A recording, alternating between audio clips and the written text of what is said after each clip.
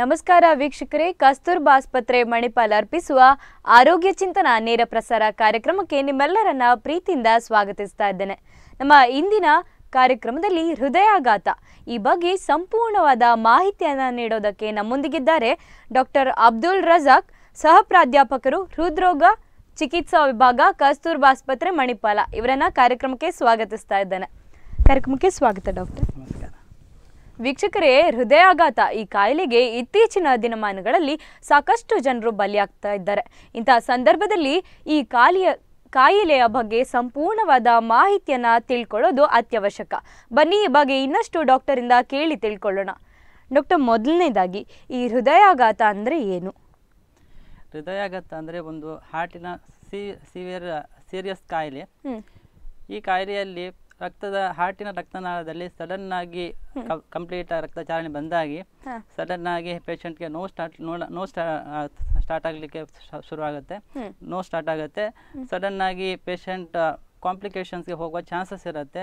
Patient death ಆಗುವ chances ಇರುತ್ತೆ.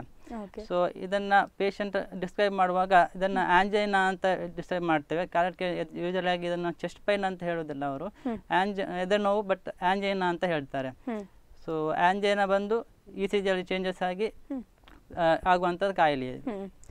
ಹಾಗೇನೆ ಡಾಕ್ಟರ್ ನೀವು ಆಂಜೈನ ಮತ್ತೆ ಚೆಸ್ಟ್ ಪೇನ್ ಅಂತ ಹೇಳಿದ್ರಿ. ಈ ಆಂಜೈನಾಗೂ ಹಾಗೇನೆ ಚೆಸ್ಟ್ ಪೇನಿಗೂ ಇರುವ ವ್ಯತ್ಯಾಸ ಏನು? ಆಂಜೇನ ಅಂತ ಸಾವಿರದ ಏಳ್ ಆಂಜನ ಅಂದರೆ ಸಾವಿರದ ಏಳ್ನೂರ ಎಪ್ಪತ್ತೆರಡರಲ್ಲಿ ವಿಲಿಯಂ ಹ್ಯಾಬರ್ಡನ್ ಅಂತ ಒಬ್ಬ ಡಾಕ್ಟರ್ ಇದನ್ನು ಡಿಸ್ಕ್ರೈಬ್ ಮಾಡಿದ್ದಾರೆ. ಆಂಜೈನ ಅಂದರೆ ಒಂದು chest pain chest pain patient describe ಮಾಡುವಾಗ ಇದನ್ನು ಚೆಸ್ಟ್ ಪೈನ್ ಅಂತ ಹೇಳೋದಿಲ್ಲ ಯೂಶಲ್ ಆಗಿ ಪ್ರೆಷರ್ ಹಾರ್ಟಲ್ಲಿ ಒಂದು ತೀವ್ರ ಥರದ ಒತ್ತಡ ಕನ್ಸ್ಟ್ರಿಕ್ಷನ್ ಅಥವಾ ಸ್ಕ್ವೀಸಿಂಗ್ ಅಥವಾ ಹೆವಿನೆಸ್ ಅಥವಾ ಬರ್ನಿಂಗ್ ಅಂತ ಹೇಳ್ತಾರೆ. ಒಂದು heaviness in the centre of the chest ಆಯ್ತಾ? ಮೇಲೆ ಅವರು ಪೇಷಂಟ್ ಅದು ಒಂದು ಎದೆಯಲ್ಲಿರ್ಬೋದು ಅಥವಾ ಬೇರೆ ಕಡೆಗೆ ಪಸರಿಸ್ಬೋದು. ರೈಟ್ ಶೋಲ್ಡರ್ಗೆ ಹಾರ್ಟ್ ಹೈ ಕೈಗೆ. ಹೊಟ್ಟೆಗೆ ಅಥವಾ ನೆಕ್ ಎಲ್ಲ ಬರುವ ಚಾನ್ಸಸ್ ಇರುತ್ತೆ. ಇದನ್ನ ಆಂಜನ ಅಂತ ಹೇಳ್ತೇವೆ. ಸೊ ಆಂಜನ ಮತ್ತೆ ಚೆಸ್ಟ್ ಪೈನ್ ಅಂದ್ರೆ ಚೆಸ್ಟ್ ಪೈನ್ ಒಂಥರ ಆಂಜನ ಒಂಥರದ ಚೆಸ್ಟ್ ಪೈನ್. ಬಟ್ ಆಲ್ ಎಲ್ಲ ಚೆಸ್ಟ್ ಪೈನ್ ಆಂಜನ ಆಗಿರ್ಲಿಕ್ಕಿಲ್ಲ. ಆಲ್ಮೋಸ್ಟ್ ಆಲ್ ಆಂಜನ ಎಲ್ಲ ರಿಲೇಟೆಡ್ ಟು ಹಾರ್ಟ್ ಡಿಸೀಸ್ ಹಾಗೇನೆ ಡಾಕ್ಟರ್ ಈ ಕಾಯಿಲೆಯ ಪ್ರಮಾಣ ಎಷ್ಟಿದೆ? ಅಂದರೆ ಇಂಡಿಯಾದಲ್ಲಿ ಇದರ ಡೇಟಾ ಅಷ್ಟೇನು ಅವೈಲೇಬಲ್ ಇಲ್ಲ. Foreign ಕಂಟ್ರೀಸಲ್ಲಿ around eight millions admissions for chest men ಅಂತ ಅನ್- ಅನ್- ಅನ್ಬಿಡ್ತಾರೆ ಹ್ಮ್. ಅದು ಈ ಎಂ ಐ ಇಂದ ಆಗಿರುತ್ತದೆ ಏಟ್ ಮಿಲಿಯನ್ ಪರ್ ಇಯರ್ ಅದರಲ್ಲಿ ಫಿಫ್ಟೀನ್ ಟು ಅಂದ್ರೆ fifteen to twenty five percent or M I heart attack ಆಗಿ ಅಡ್ಮಿಷನ್ ಆಗಿರುತ್ತಾರೆ. ಹಾಗೇನೆ ಡಾಕ್ಟರ್ ಈ ರಿಸ್ಕ್ ಫ್ಯಾಕ್ಟರ್ಸ್ ಅಂದ್ರೆ ಏನು? ಈ ಕಾಯಿಲೆ ಬರಲಿಕ್ಕೆ ಕೆಲವೊಂದು ಕಾರಣಗಳಿರ್ತವೆ. ಸೊ ಕೆಲವೊಂದು ಕಾರಣಗಳೆಂದರೆ ಕೆಲವೊಂದು ನೋನ್ ಕಾರಣ ಇರ್ತದೆ ಕೆಲವು ಅನ್ಕೋ ಅನ್ನೋನ್ ಕಾಮನ್ಸ್ ಕಾರಣ ಇರುತ್ತದೆ. ಸೊ ಕಾಮನ್ ನೋನ್ ಕಾರಣದಲ್ಲಿ ಕೆಲವೊಂದು ಅದರಲ್ಲೂ ಕೆಲವೊಂದು ಮಾಡಿಫೈಯಬಲ್ ರಿಸ್ಪೆಕ್ಟರ್ಸ್ ಅಂತ ಇರುತ್ತೆ. ನಾನ್ ಮಾಡಿಫೈಡ್ ರಿಸ್ಪ್ಯಾಕ್ಟರ್ಸ್ ಯಾವುದಂದ್ರೆ ಒಂದು ಮಾಡಿಫೈಯಬಲ್ ಕೆಲವೊಂದು non modifiable modifiable modifiable risk factors ಅಂದರೆ. Like smoking diabetes hypertension cholesterol. Lifestyle changes like inactivity physical inactivity. Obesity ಇವೆಲ್ಲ modifiable risk risk factors.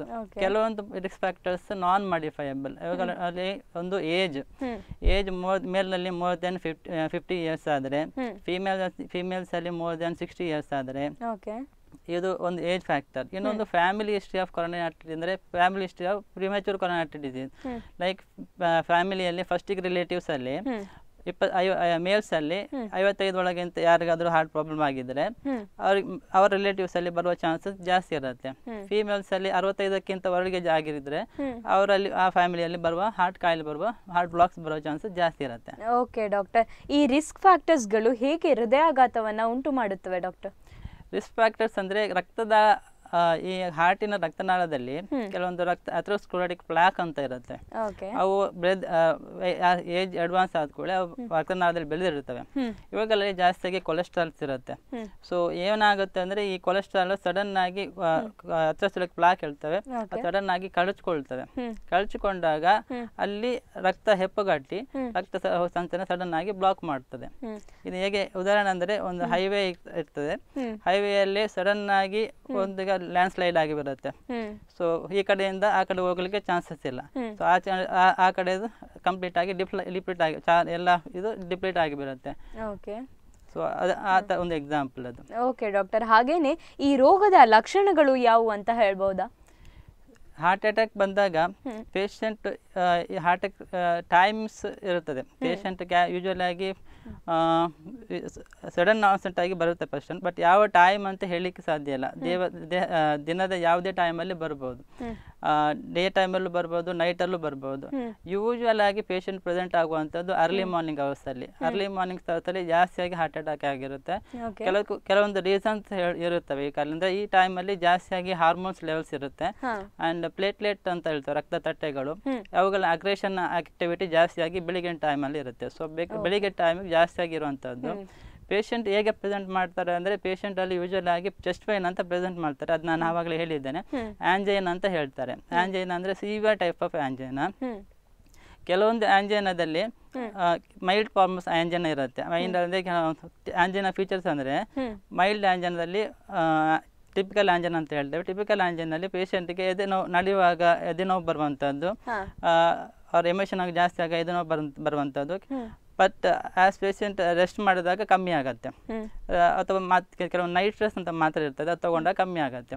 But usually stable Anjan ಅಂತ ಹೇಳ್ತೇವೆ ಅದು usually twenty five ten to to to ten minutes ಮಾತ್ರ ಇರುತ್ತೆ. Unstable angina ಅಂತ ಹೇಳ್ತೇವೆ. ಅದು ಸ್ವಲ್ಪ ಸಿವಿಯರ್ ಫಾರ್ಮ್ ಅದು ಟ್ವೆಂಟಿ ಮಿನಿಟ್ಸ್ಗಿಂತ ಕಮ್ಮಿ ಇರುತ್ತೆ. ವೈರಸ್ ಇದು M I heart acute M I ಅಂತ ಹೇಳ್ತೇವೆ ಹಾರ್ಟ್ ಅಟ್ಯಾಕ್ ಅಂತ ಹೇಳ್ತೇವಲ್ಲ. ಅದು ಮೋರ್ ದೆನ್ ತರ್ಟಿ ಮಿನಿಟ್ಸ್ ಬರುತ್ತೆ. Severe pain same angina same ಇರುತ್ತೆ. ಬಟ್ ಸಿವಿಯರಿಟಿ ಜಾಸ್ತಿ ಆಗಿರುತ್ತೆ. ಮೋರ್ ದೆನ್ ತರ್ಟಿ ಮಿನಿಟ್ಸ್ ಇರ್ತದೆ.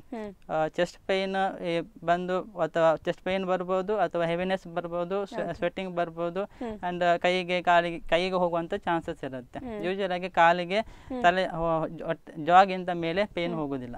Okay doctor. ಇದೇ ರೀತಿಯ ಸಿಂಪ್ಟಮ್ಸ್ಗಳನ್ನ ಹೋಲುವ ಬೇರೆ ಕಾಯಿಲೆಗಳು ಯಾವ್ದಾದ್ರು ಇದೆಯಾ? ಹೃದಯಾಘಾತವನ್ನ ಬಿಟ್ಟು? ಕೆಲವೊಂದು ಕಾಯಿಲೆಗಳು ಇದೆ ಸೇಮ್ ಎದೆ ನೋವು ಬಂದ್ ಬರುತ್ತದೆ. ಬಟ್ ಅದನ್ನ ಡಿಫ್ರೆನ್ಶಿಯೇಟ್ ಮಾಡುವುದು ನಮಗೆ ತುಂಬಾ ಕಷ್ಟ ಇದು ಆಗಿರ್ತದೆ. ಬಟ್ ಅವರ ಸಿಂಪ್ಟಮ್ಸ್ ಅಲ್ಲಿ ಯೂಜಲ್ ಆಗಿ ಆಂಜಿನ ಯೂಜಲ್ ಆಗಿ ಬಂದಿದ್ರೆ ಅದು ಯೂಜಲ್ ಆಗಿ ಹಾರ್ಟ್ಗೆ ಸಂಬಂಧಪಡ್ತದೆ. ಬಟ್ ಕೆಲವೊಂದು ಪೇಷಂಟ್ ಚೆಸ್ಟ್ ಪೇನ್ ಆಗಿ ಬರುತ್ತೆ ಬರ್ತಾರೆ. ಬಟ್ ಅವರ ಎಕ್ಸಾಮ್ ಪರೀಕ್ಷೆ ಮಾಡುವಾಗ ಕುಲಂಕಷವಾಗಿ ಪರೀಕ್ಷೆ ಮಾಡುವಾಗ ಇ ಸಿ ಜಿಯಲ್ಲಿ ನೋಡುವಾಗ ಈ ಸಿ ಜಿಯಲ್ಲಿ ಏನು ಚೇಂಜಸ್ ಇರುವುದಿಲ್ಲ ಬಟ್ ಬೇರೆ ಚೇಂಜಸ್ ಕಾಣ್ತದೆ. ಅವಾಗ ಕೆಲವೊಂದು ಲೈಕ್ ಅಯೋಟಿಕ್ ಡಿಸೆಕ್ಷನ್ ಅಂತ ಹೇಳ್ತೇವೆ. ನ್ಯೂಮನ್ ತೊರಕ್ಸ್ ಅಂತ ಹೇಳ್ತೇವೆ. ಯೂಸೋಫೇಜ್ ರಫ್ತರ್ ಇರ್ತವೆ ಇವೆಲ್ಲ ಸೀರಿಯಸ್ ಕಂಡೀಷನ್ಸ್ ಇವನ್ ಸಹ ಎಮರ್ಜೆನ್ಸಿ ಬಂದ ಕೂಡಲೇ ಇವರನ್ನ ಈ ಕಾಯಿಲೆಗಳನ್ನು ಡಿಫ್ರೆನ್ಷಿಯೇಟ್ ಮಾಡುವ ಅದಕ್ಕೆ ಇರುತ್ತದೆ. ಯಾಕೆಂದ್ರೆ ಟ್ರೀಟ್ಮೆಂಟ್ ಕಂಪ್ಲೀಟ್ ಆಗಿ ಡಿಫ್ರೆಂಟ್ ಆಗಿರುತ್ತೆ. ಸೊ ಈ ಕಾಯಿಲೆಗಳನ್ನು ಇನ್ನೊಂದು ಕೆಲವು ಎಮರ್ಜೆನ್ಸಿ ಕಾಯಿಲೆಗಳಿರುತ್ತೆ ಅವನ್ನ ಡಿಫ್ರೆನ್ಷಿಯೇಟ್ ಮಾಡೋದು ಒಳ್ಳೆಯದು. ಓಕೆ ಡಾಕ್ಟರ್ ನೀವಾಗಲೇ ರಿಸ್ಕ್ ಫ್ಯಾಕ್ಟರ್ಸ್ ಬಗ್ಗೆ ಹೇಳಿದ್ರಿ. ಹಾಗೇನೆ ಈ ರಿಸ್ಕ್ ಫ್ಯಾಕ್ಟರ್ಸ್ಗಳು ಬೇಗ ಹಾರ್ಟ್ ಅಟ್ಯಾಕ್ ಅನ್ನ ಆ, ಸಿಚುವೇಶನ್ಸ್ ಏನಾದರೂ ಇರುತ್ತಾ ಸಂಭವ? ಹೌದು. ಯೂಶಲ್ ಆಗಿ ಎಲ್ಲರಿಗೂ ಪ್ಲಾಕ್ ಅಂತ ಹೇಳ್ತೇವಲ್ಲ ಪ್ಲಾಕ್ ಕೊಲೆಸ್ಟ್ರಾಲ್ ಇರುವಂತಹ ರಕ್ತನಾಳದಲ್ಲಿ ಕೊಲೆಸ್ಟ್ರಾಲ್ ಚಾನ್ಸಸ್ ಇರುತ್ತೆ. ಓಕೆ ಬಟ್ ಅವು ಈಗಲೇ ಪ್ರಕಟಣೆ ನಮ್ಗೆ ಪ್ರೆಸೆಂಟ್ ಬರುವುದಿಲ್ಲ. ಬಟ್ ಕೆಲವೊಂದು ಕಂಡೀಷನ್ ಅಲ್ಲಿ ಪೇಷಂಟ್ ಲೈಕ್ ಎಕ್ಸಾ ಎಕ್ಸಸೈಸ್ ಜಾಸ್ತಿ ವಿಗರಸ್ ಆಗಿ ಎಕ್ಸಸೈಸ್ ಮಾಡಿದ್ರೆ ಜಾಸ್ತಿ ಟೆನ್ಷನ್ ಎಮೋಷನಲ್ ಸ್ಟ್ರೆಸ್ ಜಾಸ್ತಿ ಆದರೆ ಕೆಲವೊಂದು ಸರ್ಜಿಕಲ್ ಅವ್ರ ಮೆಡಿಕಲ್ ಕಂಡೀಷನ್ ಅಂತ ಪೇಷಂಟ್ ಜ್ವರ ಅಂತ ಅಡ್ಮಿಟ್ ಆದಾಗ ಹಾಸ್ಪಿಟಲ್ ಅಡ್ಮಿಟ್ ಆದಾಗ ಈ- ಈ- ಈ- ಈ ಎಂ ಐ ಅಂತ ಆಗುವಂಥದ್ದು ಕಂಡೀಷನ್ ಎಂ ಐ ಆಗುವಂಥ ಚಾನ್ಸಸ್ ಜಾಸ್ತಿ ಇರುತ್ತೆ. ಹಾಗೇನೆ ಡಾಕ್ಟರ್ ಈ ಹಾರ್ಟ್ ಅಟ್ಯಾಕ್ ಅನ್ನ ಅವಾಯ್ಡ್ ಮಾಡೋದಕ್ಕೆ ಯಾವ ರೀತಿಯಾದಂಥ ಆಹಾರ ಪದ್ಧತಿಯನ್ನ ಫಾಲೋ ಮಾಡಬೇಕು ಅಂತ ಹೇಳ್ತೀರಾ? ಆಹಾರ ಪದ್ಧತಿ ಅಂದರೆ ಕೆಲವೊಂದು ಈ ಟ್ರೀಟ್ಮೆಂಟ್ ಪೇಷಂಟ್ ಈಗ ಈಗಿನ ಆಹಾರ ಪದ್ಧತಿ ತುಂಬ ಡಿಫ್ರೆಂಟ್ ಆಗಿರುತ್ತೆ. ಮುಂಚಿನ ಆಹಾರ ಪದ್ಧತಿಗೂ ಈಗಿನ ಆಹಾರ ಪದ್ಧತಿ ತುಂಬ ಡಿಫ್ರೆಂಟ್ ಆಗಿರುತ್ತೆ. ವ್ಯತ್ಯಾಸ ಇದೆ. ಈಗಿನ ಜಾಸ್ತಿಯಲ್ಲಿ ಈಗ ಫಾಸ್ಟ್ ಫುಡ್ ಆಗಿರುವಂಥದ್ದು ಜಾಸ್ತಿಯಾಗಿ ಕೊಲೆಸ್ಟ್ರಾಲ್ ಇರುವಂಥ ಫುಡ್ಗಳಿರುತ್ತವೆ ಜಾಸ್ತಿಯಾಗಿ ಕಾರ್ಬೋಹೈಡ್ರೇಟ್ಸ್ ಇರುವಂಥ ಫುಡ್ಗಳಿರುತ್ತವೆ ಸೊ ಕೊಲೆಸ್ಟ್ರಾಲ್ ಇರುವಂಥದ್ದು ಕಾರ್ಬೋಹೈಡ್ರೇಟ್ ಇರುವಂಥದ್ದು ಇವುಗಳು ಜಾಸ್ತಿಯಾಗಿ ರಕ್ತದಾನದಲ್ಲಿ ಬ್ಲಾಕ್ ಮಾಡೋ ಚಾನ್ಸಸ್ ಇರ್ತದೆ ಇವುಗಳು ರಕ್ತನಾಳದಲ್ಲಿ ಹೋಗಿ ಡಿಪಾಸಿಟ್ ಆಗಿ ಅದರಿಂದಾಗಿ ಬ್ಲಾಕ್ ಬರೋ ಚಾನ್ಸಸ್ ಇರುತ್ತೆ. ಸೊ ಬೆಟರ್ ಟು ಅಂದ್ರೆ ರೋಗ ನ್ಯೂಟ್ರಿಷನ್ ಅಂದ್ರೆ ಆದಷ್ಟು ಸ್ಮೋಕಿ ಇದು ಎಣ್ಣೆ ಪದಾರ್ಥ ಕಮ್ಮಿ ಮಾಡಬೇಕು ಕಾರ್ಬೋಹೈಡ್ರೇಟ್ ಕಮ್ಮಿ ಮಾಡಬೇಕು ರೆಗ್ಯುಲರ್ ಆಗಿ ಎಕ್ಸಸೈಸ್ ಮಾಡ್ತಾ ಇರಬೇಕು ವೆಯ್ಟ್ ವೆಯ್ಟ್ ಕಮ್ಮಿ ಮಾಡಬೇಕು. ಇವು ಕೆಲವೊಂದು ಅಂದರೆ ಎಣ್ಣೆ ಪದಾರ್ಥದಲ್ಲಿ ಪಾಲಿ ಅನ್ಸ್ಯಾಚುರೇಟೆಡ್ ಫ್ಯಾಟ್ ಯೂಸ್ ಮಾಡ್ಬೋದು but mono unsaturated fatty acids ಮತ್ತು ಒಮೆಗಾ ತ್ರೀ ಫ್ಯಾಟಿ ಆಸಿಡ್ಸ್ ಇವುಗಳನ್ನು ಎಣ್ಣೆ ಪದಾರ್ಥದಲ್ಲಿ ಯೂಸ್ ಮಾಡೋದು ಒಳ್ಳೆಯದು ಹಾಗೇನೆ ಡಾಕ್ಟರ್ ಈ ದೇಹದಲ್ಲಿ ಹಾರ್ಟ್ ಅಟ್ಯಾಕ್ ಬಗ್ಗೆ ದೇಹದಲ್ಲಿ ಯಾವುದಾದ್ರೂ ಸುಳಿವಿನ ಲಕ್ಷಣಗಳು ಕಾಣಿಸಿಕೊಳ್ಳುತ್ತಾ? ದೇಹದಲ್ಲಿ ನಮಗೆ ಪರೀಕ್ಷೆ ಮಾಡುವಾಗ ಪೇಷಂಟ್ ಚೆಸ್ಟ್ ಪೇನ್ ಅಂತ ಬಂದಾಗ ಪೇಷಂಟ್ ಚೆಸ್ಟ್ ಮೇಲೆ ಅಂತ ಬಂದಾಗ ಆ ಪೇಷಂಟ್ ಮನೆಯಲ್ಲಿರುವಾಗ ಕೆಲವೊಂದು ಸಿಂಪ್ಟಮ್ಸ್ ನಮ್ಗೆ ಗೊತ್ತು ಕೆಲ ಅರಿವಾಗತ್ತೆ. ನಾನು ಹೇಳಿದೆ ಎದೆ ನಾವು ಬರ್ಬೋದು. ನಮ್ಗೆ ಹೇಗೆ ಗೊತ್ತಾಗತ್ತೆ ಅಂದರೆ ಪೇಷಂಟ್ ಬರುವ ಸೀವಿಯ ಸೀವಿಯರಿಟಿಯಿಂದ ಪೇಷಂಟ್ ಕಂಪ್ಲೀಟ್ ಆಗಿ ಬಿಳಿ ಆಗಿರ್ಬೋದು. ಪೇಷಂಟ್ ಬಿಳಿ ಆಗಿರೋ ಇದಕ್ಕೆ ಥರ ಕಾಣ್ತದೆ. ಕಂಪ್ಲೀಟ್ ಆಗಿ ಸ್ವೆಟ್ಟಿಂಗ್ ಸ್ವೆಟ್ಟಿಂಗ್ ಆಗಿರ್ಬೋದು. ಡಯಫೋರಿಸಿಸ್ ಅಂತ ಹೇಳ್ತೇವೆ. ಮತ್ತು ಎಕ್ಸ್ಟ್ರೀಮಿಟೀಸ್ ಎಲ್ಲ ಕೋಲ್ಡ್ ಆಗಿರ್ಬೋದು. ಇದು ತೀವ್ರ ತೀವ್ರತೆಯನ್ನು ನಮಗೆ ಹೇಳ್ತೇವೆ. ಸೊ ಆದಷ್ಟು ಬೇಗ ಈ ಕಂಡೀಷನ್ ಈ ಥರ ಬಂದರೆ ಆದಷ್ಟು ಬೇಗ ಪೇಷಂಟನ್ನು ಶಿಫ್ಟ್ ಮಾಡಿದರೆ hospital near by hospital shift ಮಾಡಿದ್ರೆ ಒಳ್ಳೆಯದು ಈ ಹೃದಯಾಘಾತ ಯಾವ ವಯಸ್ಕರಲ್ಲಿ ಜಾಸ್ತಿ ಕಾಣಿಸಿಕೊಳ್ಳುತ್ತೆ? ಏಜ್ ಮತ್ತು ಹಾರ್ಟ್ ಡಿಸೀಸ್ ಮುಂಚೆ patient more than fifty more than forty ಇಯರ್ಸಲ್ಲಿ ಎಲ್ಲರಿಗೂ ಈ ಬರುವ ಕಾಯಿಲೆ ಚಾನ್ಸಸ್ ಇತ್ತು ಎಲ್ಡರ್ಲಿ ಪೇಷಂಟ್ ಅಂತ ಹೇಳ್ತಾರೆ ಆ ಎಲ್ ಎಲ್ ಹಾರ್ಟ್ ಅಟ್ಯಾಕ್ ಅಂದರೆ ಎಲ್ಡರ್ಲಿ ಪೇಷಂಟ್ ಕಾಯಿಲೆ ಅಂತ ಹೇಳ್ತಾ ಇದ್ದು ಬಟ್ ಈ ರೀಸೆಂಟ್ ಆಗಿ ಇವನ್ ಟ್ವೆಂಟಿ ಇಯರ್ಸ್ ಏಜಿಂದ ಈ ಕಾಯಿಲೆ ಸ್ಟಾರ್ಟ್ ಆಗ್ತಾ ಉಂಟು. So young patients food habits smoking ಇದರಿಂದಾಗಿ ಈ ಕಾಯಿಲೆ ಅರ್ಲಿ ಏಜರಲ್ಲಿ ಕಂಡು ಬರ್ತಾ ಇದೆ. ಈ ಮೂಲಕ ವಯಸ್ಕರಿಗೆ ಅಥವಾ ಯಂಗ್ ಏಜ್ ಅವರಿಗೆ ಈ ರಿಸ್ಕ್ ಫ್ಯಾಕ್ಟರ್ಸ್ನೆಲ್ಲ ಅವಾಯ್ಡ್ ಮಾಡೋದು ಒಳ್ಳೇದಂತ ಹೇಳ್ತಾ ಇದ್ದೀರಾ. ಹಾಗೇನೆ ಡಾಕ್ಟರ್ ಈ ಹಾರ್ಟ್ ಹಾರ್ಟ್ ಅಟ್ಯಾಕ್ ಹೃದಯದ ಮೇಲೆ ಎಷ್ಟು ಪರಿಣಾಮ ಬೀರುತ್ತೆ, ಎಷ್ಟು ಡ್ಯಾಮೇಜನ್ನು ಉಂಟು ಮಾಡುತ್ತೆ ಅಂತ. ರಕ್ತನಾಳ ರಕ್ತ ಬಂದಾಗುವಾಗ ರಕ್ತಚಾರಣೆ ಬಂದಾಗುವಾಗ. ಅದು ಯಾವ ರಕ್ತನಾಳದಲ್ಲಿ ಬ್ಲಾಕ್ ಆಗಿದೆ? ಕೆಲವೊಂದ್ರೆ ಯೂಶಲಿ ಹಾರ್ಟಲ್ಲಿ ಮೂರು ರಕ್ತನಾಳ ಇರುತ್ತೆ. ಲೆಫ್ಟ್ ಸೈಡ್ ಅಲ್ಲಿ ಎರಡು ರೈಟ್ ಸೈಡ್ ಅಲ್ಲಿ ಒಂದು. ಅದರಲ್ಲಿ ಒಂದು ರಕ್ತನಾಳ ಲೆಫ್ಟ್ ಸೈಡ್ ಅಲ್ಲಿರುವ ರಕ್ತನಾಳದಲ್ಲಿ ಆಲ್ಮೋಸ್ಟ್ ಸಿಕ್ಸ್ಟಿ ಪರ್ಸೆಂಟ್ ರಕ್ತನಾಳ ಸಪ್ಲೈ ಮಾಡುವಂತ ಎಲ್ ಎ ಡಿ ಅಂತ ಲೆಫ್ಟ್ ಆಂಟಿಯರ್ ಡಿಸೆಂಡಿಂಗ್ ಆರ್ಟಿ ಅಂತ ಇರುತ್ತೆ. ಯೂಶಲಿ ಅದರಲ್ಲಿ ಬ್ಲಾಕ್ ಬಂದರೆ ಹಾರ್ಟ್ ಬ್ಲಾಕ್ನ ತೀವ್ರತೆ ಜಾಸ್ತಿ ಇರುತ್ತೆ. ಯೂಶಲ್ ಆಗಿ ಮಾರ್ಟಲಿಟಿ ಆಗಿರುವಂತದ್ದು ಆ ರಕ್ತನಾಳದಲ್ಲಿ ಬ್ಲಾಕ್ ಆದಾಗ. ರೈಟ್ ಸೈಡಲ್ಲೂ ರಕ್ತನಾಳದಲ್ಲಿ ಬ್ಲಾಕ್ ಆಗ ಬ್ಲಾಕ್ ಆದಾಗ ಪ್ರಾಬ್ಲಮ್ ಆಗೋ ಚಾನ್ಸಸ್ ಇರುತ್ತೆ. ಡಿಪ್- ಇದು ರಕ್ತನಾಳ ಎಷ್ಟು ಪರ್ಸೆಂಟ್ ಬ್ಲಾಕ್ ಆಗಿದೆ. ಕಂಪ್ಲೀಟ್ ಆಗಿ ಬ್ಲಾಕ್ ಆಗಿದೆ ಅಥವಾ ಪಾರ್ಷಲ್ ಆಗಿ ಬ್ಲಾಕ್ ಸ್ವಲ್ಪ ಮತ್ತೆ ಬ್ಲಾಕ್ ಆಗಿ ಆಗಿದೆಯಾ? ಅದರ ಮೇಲೆ ಡಿಪೆಂಡ್ ಆಗುತ್ತೆ. ಕೆಲವೊಂದು ಸಲ ಎಷ್ಟು ಏರಿಯಾ ಇನ್ವಾಲ್ವ್ಮೆಂಟ್ ಆಗಿದೆ ಅದರ ಮೇಲೆ ಡಿಪೆಂಡ್ ಆಗುತ್ತೆ ಹಾರ್ಟ್ ಡ್ಯಾಮೇಜ್ ಕೆಲವೊಂದು ಸಲ ಅದರ ವೆಸಲ್ಸ್ ಒಂದೇ ಒಂದೇ ರಕ್ತನಾಳ ಅಲ್ಲ ಬೇರೆ ಬೇರೆ ರಕ್ತನಾಳಗಳು ಕಾಯಿಲಿದ್ದಾಗ ಅದರ ಸಿವಿರಿಟಿ ಜಾಸ್ತಿ ಆಗಿರುತ್ತೆ. ಕೆಲವೊಂದು ಸಲ ಅಟ್ಯಾಕ್ ಆದಮೇಲೆ ಅಟ್ಯಾಕ್ ಆದ ಟೈಮಿಂದ ಹಾಸ್ಪಿಟಲ್ ಬಂದಾಗ ಟೈಮ್ ಬರುವಂಥ ಡ್ಯೂರೇಷನ್ ಅಂತೇವೆ. ಜಾಸ್ತಿ ಮೋರ್ ದೆನ್ ಎಷ್ಟು ತರ್ಟಿ ಮಿನಿಟ್ ಡಿಲೇ ಮಾಡಿದಾಗ ಎಂಟು ಎಂಟು ಪರ್ಸೆಂಟ್ ರಿಸ್ಕ್ ಜಾಸ್ತಿ ಆಗ್ತದೆ. ಮಾರ್ಟಲಿಟಿ ರಿಸ್ಕ್ ಜಾಸ್ತಿ ಆಗುತ್ತೆ. ಸೊ ಡ್ಯೂರೇಷನ್ ಆಯಿತು. ಕೆಲವೊಂದು ಸಲ ಈ ಕೊಲ್ಯಾಟ್ರಲ್ಸ್ ಅಂತ ಬರುತ್ತೆ. ಒಂದು ರಕ್ತನಾಳ ಬ್ಲಾಕ್ ಆದಾಗ ಇನ್ನೊಂದು ಕಡೆಯಿಂದ ರಕ್ತ ಆ ರಕ್ತನಾಳಕ್ಕೆ ಸಪ್ಲೈ ಮಾಡುತ್ತೆ. ಒಂದು ವೇಳೆ ಅದರ ಪ್ರಹಾರ ಜಾಸ್ತಿ ಪ್ರವಾಹ ಜಾಸ್ತಿ ಇದ್ದಾಗ ಸಿಂಪ್ಟಮ್ಸ್ ಸ್ವಲ್ಪ ಕಮ್ಮಿಯ ಪ್ರಮಾಣದಲ್ಲಿ ಇರ್ತದೆ. ಬಟ್ ಆ ಥರ ಕೊಲ್ಯಾಟ್ರಲ್ಸ್ ಇಲ್ದಿದ್ರೆ ಅದರ ಸಿವಿಯರಿಟಿ ಜಾಸ್ತಿ ಆಗುತ್ತೆ. ಓಕೆ ಡಾಕ್ಟರ್ ಹಾಗೇನೆ ಹೃದಯಾಘಾತಕ್ಕೆ ಯಾವ ರೀತಿಯಾದಂಥ ಡಯಾಗ್ನೋಸಿಸ್ ಅನ್ನ ನೀವು ನೀಡ್ತೀರಿ ಡಾಕ್ಟರ್ ಸೊ ಪೇಷಂಟ್ ಹಾಸ್ಪಿಟಲ್ ಬಂದಾಗ. ವಿದಿನ್ ಗೈಡ್ಲೈನ್ಸ್ ಪ್ರಕಾರ ವಿದಿನ್ ಟೆನ್ ಮಿನಿಟ್ಸಲ್ಲಿ ಇ ಸಿ ನಮಗೆ ಕಂಪ್ಲೀಟ್ ಹಿಸ್ಟ್ರಿ ಬೇಕು ಡಯಾಗ್ನೋಸಿಸ್ ಇ ಸಿ ಜಿ ಬೇಕಾಗತ್ತೆ. ಮೇನ್ ಆಗಿ ಹಿಸ್ಟ್ರಿ ಪೇಷಂಟಿಂದ ಇಷ್ಟು ಬೇಕಾಗತ್ತೆ ಏನಾಗ್ತದೆ ಅಂತ ಕೇಳಬೇಕಾಗತ್ತೆ. ಕೂಲಂಕವಶವಾಗಿ ಹಿಸ್ಟ್ರಿಯನ್ನು ಕೇಳಿ ಅಷ್ಟರೊಳಗೆ ಟೆನ್ ಮಿನಿಟ್ಸ್ ಒಳಗೆ ಇ ಸಿ ಜಿ ಮಾಡಬೇಕು. ಇ ಸಿ ಜಿಯಲ್ಲಿ ನಮಗೆ ಚೇಂಜಸ್ ಗೊತ್ತಾಗುತ್ತೆ. ಒಂದು ಕೆಲವೊಂದು ಸಲ ಎಷ್ಟು ಎಲಿವೇಶನ್ ಎಂ ಎಂ ಐ ಅಂತ ಹೇಳಿದಾಗ ಹಾರ್ಟ್ ಅಟ್ಯಾಕ್ ಅಂತ ಹೇಳುವಾಗ ಯೂಶುವಲ್ ಆಗಿ ಎಷ್ಟು ಎಲಿವೇಶನ್ ಎಂ ಐ ಆಗಿರುತ್ತೆ. ಕೆಲವೊಂದು ಸಲ ಹೊಸ new onset L B B B ಅಂತ ಹೇಳ್ತೇವೆ. ಆ ರೀತಿ ಬಂದಾಗ ಅದು ಹಾರ್ಟ್ ಅಟ್ಯಾಕ್ ಆಗಿರುತ್ತೆ. ಸೊ ಇ ಸಿ ಜಿ ಮತ್ತು ಬ್ಲಡ್ ಹಿಸ್ಟ್ರಿ ಮತ್ತೆ ಅವರಿಗೆ ಕೆಲವೊಂದು ಬ್ಲಡ್ ಟೆಸ್ಟ್ ಮಾಡ್ಲಿಕ್ಕೆ ಇರುತ್ತೆ ಕಾರ್ಡಿಯಾಕ್ ಬಯೋಮಾರ್ಕರ್ಸ್ ಅಂತ ಹೇಳ್ತೇವೆ. ಕಾರ್ಡಿಯಾಕ್ ಟ್ರಾಪನೆಂಟ್ರಿ ಮತ್ತೆ ಐ ಅಂತ ಇರುತ್ತೆ. ಕೆಲವೊಂದು creatine C K M B ಅಂತ ಹೇಳ್ತೇವೆ. ಅವನ್ನ ಯೂಶಲ್ ಆಗಿ ಕಳಿಸ್ತೇವೆ. ಬಟ್ ಯೂಶಲ್ ಆಗಿ ಅಷ್ಟು ಚೇಂಜಸ್ ಬಂದಾಗ ಯೂಶಲ್ ಆಗಿ ಅವರ ಆ ಎಲೆ ಬಯೋಮಾರ್ಕರ್ಸ್ ಎಲಿವೇಶನ್ ಅಷ್ಟು ಇರುವುದಿಲ್ಲ. ಬಟ್ ಯೂಶಲ್ ಆಗಿ ಅವರು ನಮ್ಮ ಪ್ರೊಸೀಜರ್ ಮಾಡಿದ ಮೇಲೆ ಪಾಸಿಟಿವ್ ಬರೋ ಚಾನ್ಸಸ್ ಇರ್ತದೆ. ಕೆಲವೊಂದು ಸಲ ಪ್ರೊಸೀಜರ್ ಮಾಡುವುದಿಲ್ಲ ಬಟ್ ಪಾಸಿಟಿವ್ ಬಂದರೆ ಹಾರ್ಟಿಗೆ ಡ್ಯಾಮೇಜ್ ಆಗಿದೆ ಅಂತ ಅರ್ಥ ಆಗುತ್ತೆ. ಓಕೆ ಡಾಕ್ಟರ್ ಹಾಗೇನೆ ಚಿಕಿತ್ಸೆಯ ಗುರಿ ಏನಾಗಿರುತ್ತೆ ಡಾಕ್ಟರ್ ಯಾವ ಗುರಿಯನ್ನ ಇಟ್ಕೊಂಡು ನೀವು ಚಿಕಿತ್ಸೆ ಮಾಡ್ತೀರಿ ಅಂತ ಪೇಷಂಟ್ಸ್ಗೆ. ಅದೇ ಡಯಾಗ್ನೋಸಿಸ್ ಅದೊಂದು ಒಂದು ಪಾರ್ಟ್ ಡಯಾಗ್ನೋಸಿಸಲ್ಲಿ ನಾವು E C G history E C G ಆದಮೇಲೆ ಕೆಲವೊಂದು ಇಮೇಜಿಂಗ್ ಟೆಕ್ನಿಕ್ಸ್ ಇರುತ್ತೆ.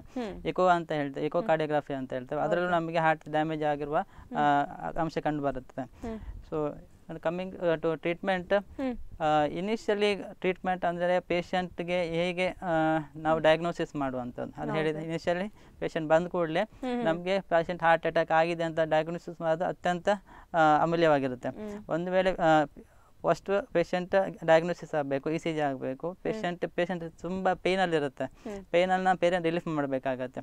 ಸೊ ತರ್ಡ್ ತರ್ಡ್ ಗುರಿ ನಮ್ಮದು ಆದಷ್ಟು ಬೇಗ ರೀಫರ್ಫ್ಯೂಷನ್ ಮಾಡುವಂಥ ಯಾವ ಬ್ಲಾಕ್ ಆಗಿದೆ ಅದನ್ನು ಓಪನ್ ಮಾಡಿ ಅದನ್ನು ರಕ್ತಚಾಲನೆ ಪುನರಾರಂಭಿಸುವಂಥದ್ದು ಅದು ನಮ್ಮ ಗುರಿ ಆಗಿರ್ತದೆ.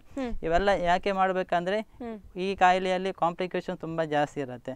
ಪೇಷಂಟ್ ಡೆತ್ ಆಗೋ ಚಾನ್ಸಸ್ ತುಂಬ ಜಾಸ್ತಿ ಕಾಂಪ್ಲಿಕೇಶನ್ ತಿಂದ ಡೆತ್ ಆಗೋ ಚಾನ್ಸಸ್ ತುಂಬ ಜಾಸ್ತಿ ಇರುತ್ತೆ. ಓಕೆ ಡಾಕ್ಟರ್ ಹಾಗೇನೆ ಆಸ್ಪತ್ರೆಯನ್ನ ತಲುಪುವ ಮುನ್ನ ಯಾವ ರೀತಿಯಾದಂತಹ ಕ್ರಮಗಳನ್ನ ಕೈಗೊಳ್ಬೇಕು ಅಂತ ಈ ಮೂಲಕ ಹೇಳ್ತೀರಿ? ಪೇಷಂಟ್ಗೆ ಸಿಂಪ್ಟಮ್ಸ್ ಅವ್ರು ರೆಕಗ್ನೈಸ್ ಮಾಡಬೇಕು. ಪೇಷಂಟ್ ಚೆಸ್ಟ್ ಪೇನ್ ಬಂದ ಕೂಡಲೇ ಅವರಿಗೆ ಇದು ಕಾರ್ಡಿಯಾಕ್ ಆಗಿರ್ಬೋದು ಅಂತ ಮುನ್ನ ಇದು ಮುನ್ನೆಚ್ಚರಿಕೆ ರೆಕಗ್ನೈಸ್ ಆಗಿದ ಕೂಡಲೇ ಹತ್ತಿರ ರಿಲೇಟಿವ್ಸ್ ಯಾರ ಫ್ರೆಂಡ್ಸ್ ಇರ್ಬೋದು ರಿಲೇಟಿವ್ಸ್ ಇರ್ಬೋದು ಅವರಿಗೆ ಹೇಳಬೇಕು. ಆದಷ್ಟು ಬೇಗ ಮೆಡಿಕಲ್ ಅಟೆನ್ಷನ್ ತಗೋಬೇಕು. ಒಂದು ವೇಳೆ ಪೇಷಂಟ್ ಆಗ ಪೇಷಂಟ್ ಇಲ್ಲದಿದ್ದರೆ ಪೇಷಂಟ್ ರಿಲೇಟಿವ್ಸ್ ಆದಷ್ಟು ಬೇಗ ಹತ್ತಿರದ ಕ್ಯಾರ್ ಹಾಸ್ಪಿಟಲ್ಗೆ ಅವರನ್ನು ತಳಿಸಬೇಕಾಗತ್ತೆ ಓಕೆ ಡಾಕ್ಟರ್ ಆಸ್ಪತ್ರೆ ತಲುಪಿದ ನಂತರ ಯಾವ ರೀತಿಯಾದಂತಹ ಚಿಕಿತ್ಸೆಗಳು ಮೊದಲನೇದಾಗಿ ಮಾಡ್ತೀರಿ ಡಾಕ್ಟರ್? ಫಸ್ಟ್ ಪೇಷಂಟ್ ಬಂದ ಕೂಡಲೇ ಪೇಷಂಟ್ ಅದು ಕಾನ್ಷಿಯಸ್ನೆಸ್ ಎಲ್ಲ ನೋಡಬೇಕಾಗತ್ತೆ. ಕ್ಯಾಶ್ ಕಾನ್ಷಿಯಸ್ನೆಸ್ ಅವರು ಕಾನ್ಷಿಯಸ್ ಆಗಿದ್ದಾರೆ ಅನ್ಕಾನ್ಷಿಯಸ್ ಆಗಿದ್ದಾರೆ ಅವ್ರದ್ದು ಏರ್ವೇ ಹೇಗಿರ್ತದೆ ಬ್ರೀದಿಂಗ್ ಇರ್ತದೆ ಅವ್ರ ಬಿ ಪಿ ಹೇಗಿದೆ ಸರ್ಕ್ಯುಲೇಷನ್ ಅಂತ ಹೇಳ್ತಾರೆ ಬಿ ಪಿ ಅದು ಜಾಸ್ತಿ ಇದೆಯಾ ಕಮ್ಮಿ ಇದೆಯಾ ಅದೆಲ್ಲ ನೋಡಬೇಕಾಗತ್ತೆ. ಬಂದ ವಿದಿನ್ ಟೆನ್ ಮಿನಿಟ್ಸ್ ಒಳಗೆ ಇ ಸಿ ಜಿ ಮಾಡಬೇಕಾಗತ್ತೆ. ಇ ಸಿ ಜಿಯಲ್ಲಿ ಅಷ್ಟು ಚೇಂಜಸ್ ಅಂದರೆ ಎಲಿವೇಷನ್ಸ್ ಚೇಂಜಸ್ ಇರುತ್ತದೆ. ಕೆಲವೊಂದು ಸಲ ಇ ಸಿ ಜಿಯಲ್ಲಿ ಚೇಂಜಸ್ ಬರೋದಿಲ್ಲ. Within patient within one minute within one thirty minutes one ಅವರಲ್ಲಿ ಬಂದಾಗ ಯೂಶಲಿ ಪೇಷಂಟ್ ಚೇಂಜ್ ಚೇಂಜಸ್ ಇದ್ರೆ ಪೇಷಂಟ್ ಸಿಂಪ್ಟಮ್ಸ್ ಟಿಪಿಕಲ್ ಸಿಂಪ್ಟಮ್ಸ್ ಇರುತ್ತೆ ಪೇನ್ ಇರುತ್ತೆ but E C G may not be showing any changes but ನಾವು but repeat ಮಾಡಬೇಕಾಗುತ್ತೆ. Within ತರ್ಟಿ ಮಿನಿಟ್ಸಲ್ಲಿ twenty to thirty ಮಿನಿಟ್ಸಲ್ಲಿ E C G repeat ಮಾಡಬೇಕು. ಆವಾಗ ಚೇಂಜಸ್ ಬರುವ ಚಾನ್ಸಸ್ ಇರ್ತದೆ. ಸೊ ಪೇಷಂಟ್ ಬಂತು ಇ ಸಿ ಜಿಯಲ್ಲಿ ಏನು ಚೇಂಜ್ ಇಲ್ಲ ಏನು ಅದನ್ನು ಇಗ್ನೋರ್ ಮಾಡ್ಲಿಕ್ಕೆ ಆಗೋದಿಲ್ಲ. ಚೇಂಜಸ್ ಆಮೇಲೆ ಬರುತ್ತೆ. ಸಡನ್ ಆಗಿ ಬಂದ ಕೂಡಲೇ ಚೇಂಜಸ್ ಬರಬೇಕಾನೇ ಏನಿಲ್ಲ. ಚೇಂಜಸ್ ಆಮೇಲೆ ಬರೋ ಚಾನ್ಸಸ್ ಇರುತ್ತೆ. ಅದಕ್ಕೋಸ್ಕರ ಪೇಷಂಟ್ನ ಹಾಸ್ಪಿಟಲ್ ಹಾಸ್ಪಿಟಲ್ ಕ್ಯಾರಲ್ಲಿ ಇಡಬೇಕಾಗತ್ತೆ. E C G treat E C G ಆದಮೇಲೆ ನಮಗೆ ಗೊತ್ತಾಗುತ್ತೆ ಪೇಷಂಟ್ ಅಕ್ಯೂಟ್ ಎಂ ಐ ಅಂತ. ಆಗ ಇಮಿಡಿಯೇಟ್ ಆಗಿ ಫಸ್ಟ್ ಟ್ರೀಟ್ಮೆಂಟ್ ಮಾಡುವಂಥದ್ದು ನಮಗೆ ರೀಫರ್ಜನ್ ರೀಪರ್ಫ್ಯೂಷನ್ ಥೆರಪಿ ಅಂತ ಹೇಳ್ತೇವೆ. ರೀಪರ್ಫ್ಯೂಷನ್ ಥೆರಪಿಯಲ್ಲಿ ಎರಡು ಆಪ್ಷನ್ಸ್ ಇರುತ್ತೆ. ಒಂದು ಪೇಷಂಟ್ಗೆ ವಿದಿನ್ ಸಿಕ್ಸ್ ಅವರ್ಸ್ ಒಳಗೆ ಹಾಸ್ಪಿಟಲ್ಗೆ ಬರಲಿಕ್ಕೆ ಆಗೋದಿಲ್ಲ. ಅಂದರೆ ಕೆಲವೊಂದು ಹಾಸ್ಪಿಟಲಲ್ಲಿ ನಮಗೆ ಪಿ ಸಿ ಎ ಮಾಡುವಂಥದ್ದು ಪರ್ಕಿಡ್ನೆಸ್ ಕಾರ್ನರ್ ಇಂಟ್ರೆಷನ್ ಮಾಡುವಂಥದ್ದು ಫೆಸಿಲಿಟಿ ಇರುತ್ತೆ. ಕೆಲವು ಆಪ್ರೇಷನಲ್ಲಿ ಇರುವುದಿಲ್ಲ. ಸೊ ವಿದಿನ್ ಸಿಕ್ಸ್ ಒಳಗೆ ಬರುವ ಸಿಕ್ಸ್ ಅವರ್ಸ್ ಒಳಗೆ ಪೇಷಂಟ್ ಹಾಸ್ಪಿಟಲ್ಗೆ ಬರಲಿಕ್ಕೆ ಆಗೋದಾದರೆ ಯಾವ ಪೇಷ ಯಾವ ಹಾಸ್ಪಿಟಲಲ್ಲಿ ಆ ಫೆಸಿಲಿಟಿ ಇದೆ ಪಿ ಸಿ ಎ ಮಾಡುವಂಥ ಫೆಸಿಲಿಟಿ ಇದೆ ಆ. ಹಾಸ್ಪಿಟಲ್ಗೆ ಶಿಫ್ಟ್ ಮಾಡಬೇಕು.